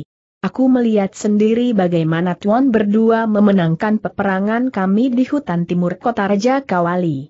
Dan aku menjadi semakin mengagumi Tuan berdua yang dengan penuh kerendahan hati mendatangi kami sebagai juru damai, mencegah peperangan yang menyakitkan. Bila saja Tuan berdua berada di pihak musuh, pasukan kami tidak akan berarti menghadapi Tuan berdua. Namun Tuan berdua tidak memilih kekerasan telah membuat diriku yang sudah banyak merasakan kepedihan sebuah peperangan merasa malu. Chuan berdua telah membukakan mata hatiku, bahwa peperangan bukan jalan terakhir menyelesaikan sebuah masalah, berkata Kirangga Kidang telangkas penuh rasa hormat dan kagum memandang Gajah Mada dan Pangeran Jaya Nagara. Terima kasih, Kirangga telah dapat mengerti dan menangkap arti kedatangan kami di hutan rumpin ini, berkata Gajah Mada kepada Kirangga Kidang Telangkas. Tidak sabar aku untuk segera mendatangi kota Raja Rakata, ingin melihat pasukanku menari dalam perjamuan besar, bukan mengerang menahan perih di ujung pedang dan lembing, berkata Kirangga Kidang Telangkas sambil tersenyum, besok kita berangkat, malam ini kita akan berpesta menghabiskan ransum, karena perang tidak akan pernah kita temui di kota Raja Rakata, berkata kembali Kirangga Kidang Telangkas. Demikianlah, Gajah Mada telah dapat meyakinkan pemimpin pasukan dari Tanah Pasundan itu bahwa tidak akan terjadi perlawanan apa pun dari Raja Pulau Wapi. Setelah bermalam di hutan rumpin, Gajah Mada, Pangeran Jaya Negara dan Lurah Jatayu keesokan harinya kembali ke kota Raja Rakata, tentunya bersama pasukan besar dari tanah Pasundan itu.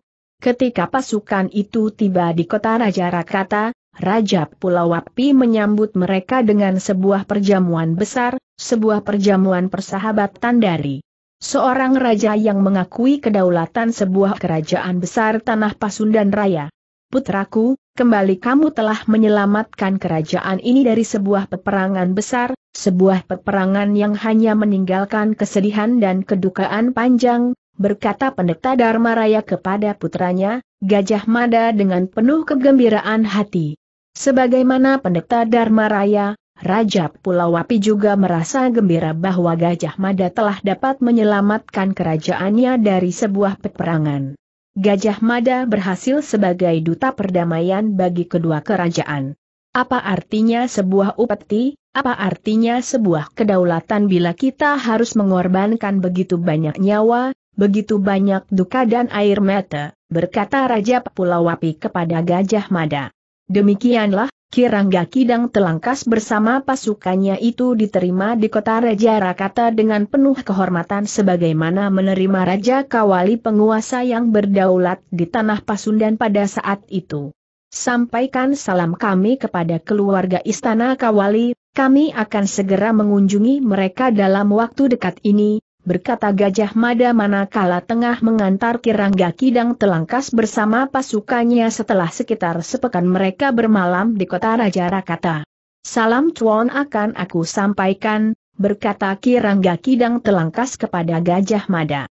Terlihat Raja Pulau Api, Pangeran Jaya Negara, Gajah Mada dan ayahnya Pendeta Dharma Raya Tengah. Mengantar pasukan besar dari Tanah Pasundan hingga sampai batas gerbang kota. Alangkah indahnya bila sebuah perdamaian selalu menaungi bumi ini, berkata pendeta Dharma Raya sambil menatap barisan panjang pasukan Pasundan tengah menuju arah pantai sebelah timur gugusan perbukitan Rakata yang masih terlihat dari gerbang batas kota. Sayangnya setiap hari terlahir manusia-manusia baru yang belum pernah merasakan kegetiran sebuah peperangan, kesedihan seorang anak, kepiluan seorang istri, juga rintih rindu membiru para kekasih hati yang ditinggal mati seorang ayah, suami dan kekasih hatinya dalam sebuah hamuk peperangan, berkata Raja Pulau Wapi sambil masih memandang ke arah barisan besar pasukan Pasundan yang semakin menjauh menghilang di jalan menurun dan berliku. Sementara itu matahari di atas gerbang batas kota sudah mulai naik sepenggalan, terlihat dua ekor elang muda mengepakkan sayapnya menuju arah pantai. Mari kita kembali ke istana, berkata Raja Pulau Wapi. Dua ekor elang muda di atas langit terlihat sudah jauh terbang, jauh di ujung batas pandang mata. Namun ketika mereka berempat tengah beranjak untuk kembali ke istana, naluri seorang ayah kandung Raja Pulau Wapi memintanya berpaling menengok kembali ke arah belakang. Raja Pulau Wapi telah melihat seorang berbaju compang-camping tengah mendekati gerbang batas kota. Gajah Mada, Pangeran Jaya Negara dan Pendeta Dharma Raya terheran-heran melihat Raja Pulau Wapi berhenti melangkah. Meter Raja Pulau Wapi terlihat tajam menatap orang berpakaian compang-camping itu yang masih terus berjalan mendekatinya. Pangeran Rawidu, berkata Gajah Mada hati mengenali lelaki yang tengah berjalan itu terus melangkah mendekati Raja Pulau Wapi yang masih tetap berdiri di tempatnya. Ampuni anakmu yang durhaka ini, wahai ayahandaku, berkata lelaki berpakaian compang-camping itu bersimpuh di kaki Raja Pulau Wapi yang ternyata adalah Pangeran Rawidu. Bangkitlah, pintu maafku seluas hamparan bumi ini wahai putraku, berkata Raja Pulau Wapi. Dosa putramu sudah begitu besar, berkata Pangeran Rawidu sambil bangkit tidak berani menatap wajah ayahnya. Tataplah gunung Rakata itu, asapnya masih selalu terbang ke udara. Jangan sekali-kali membuat gunung itu marah karena seisi bumi ini akan menanggung derita. Sementara kita hidup di atas tanahnya. Setiap manusia pasti pernah menempuh jalan tersesat, namun Gusti Yang Maha Agung telah memberikan akal kebenaran untuk dapat kembali mencari arah jalan pulang, berkata Raja Pulau Wapi penuh kasih sayang kepada putranya itu. Mari kita kembali ke istana, wahai adikku, berkata pendeta Dharma Raya kepada Pangeran Rawidu. Terlihat Pangeran Rawidu memandang ke arah pendeta Dharma Raya yang masih tersenyum memandangnya. Jangan heran, dia ini memang kakak kandungmu, berkata Raja Pulau Wapi sambil bercerita sedikit mengenai siapa pendeta Dharma Raya, sebuah cerita tentang kejahatan pendeta Rakanata yang telah menukar bayinya. Jadi sebenarnya aku mempunyai seorang kakak laki-laki, berkata Pangeran Rawidu menyalami pendeta Dharma Raya penuh dengan sikap kehangatan seorang adik kepada kakaknya.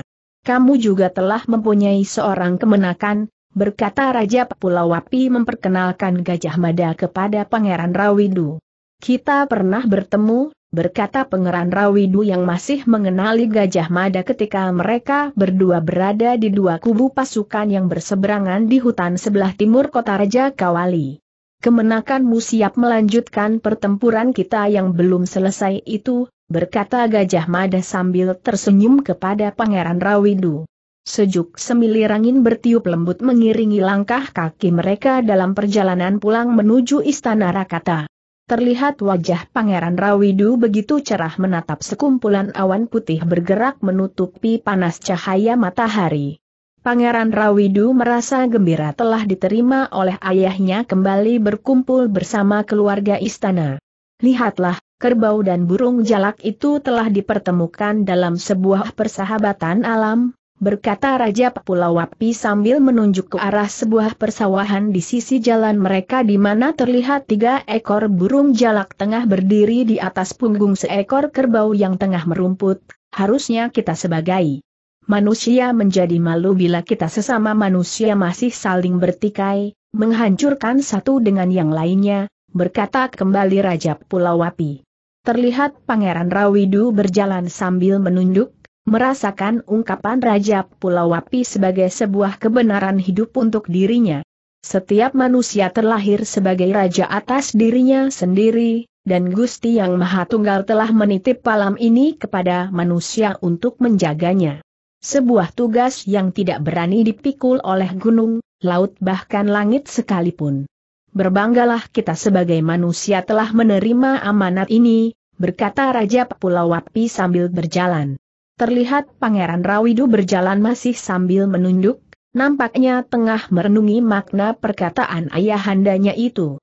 Demikianlah mereka beriring terus melangkah menuju istana Rakata yang sudah tidak begitu jauh lagi. Dan akhirnya mereka telah sampai di muka pintu gerbang istana Rakata dan hari-hari pun dilalui oleh Gajah Mada sebagai seorang panglima perang kerajaan Rakata. Banyak peningkatan dan perubahan yang terjadi di Istana Rakata, terutama kekuatan para prajurit Rakata. Gajah Mada dibantu Pangeran Jayanagara telah mencoba meningkatkan tataran ilmu kanuragan dari masing-masing prajurit, sehingga cara bertempur mereka baik secara perorangan maupun secara berkelompok semakin dapat diandalkan. Kekuatan barisan Angkatan Perang Rakata telah dapat mengamankan perairan Selat Sunda, sebuah daerah perairan yang sebelumnya sangat dikuasai oleh para bajak laut. Jaminan keamanan di perairan Selat Sunda telah membawa para pedagang berani singgah di Bandar Pelabuhan Tua Rakata. Sebuah bandar pelabuhan tua yang dulu pernah ramai disinggahi perahu para pedagang dari berbagai penjuru dunia. Geliat kemakmuran kerajaan Rakata, kian hari sudah mulai terlihat, dan kota Raja Rakata semakin hari semakin ramai saja, bahkan lebih ramai dari sebelumnya. Terlihat di pagi dan senja, dua ekor elang muda terbang tinggi menjaga langit pantai Rakata. Bila kita berlayar di Selat Sunda, gunung api Rakata yang tinggi menjulang menyentuh langit biru seperti berkata, Wahai manusia, akulah pancar bumi yang menjaga kehidupanmu, menjadi saksi atas sikap dan tingkah lakumu. Sekali kamu ingkari amanat suci sebagai manusia, aku akan memuntahkan api membakar bumi dan lautmu. Tamat. Mohon maaf, sampai naskah ini dibundel, masih belum ada penjelasan dari Kisan Dikala, cerita apa yang selanjutnya akan digelar oleh beliau. Nuwun.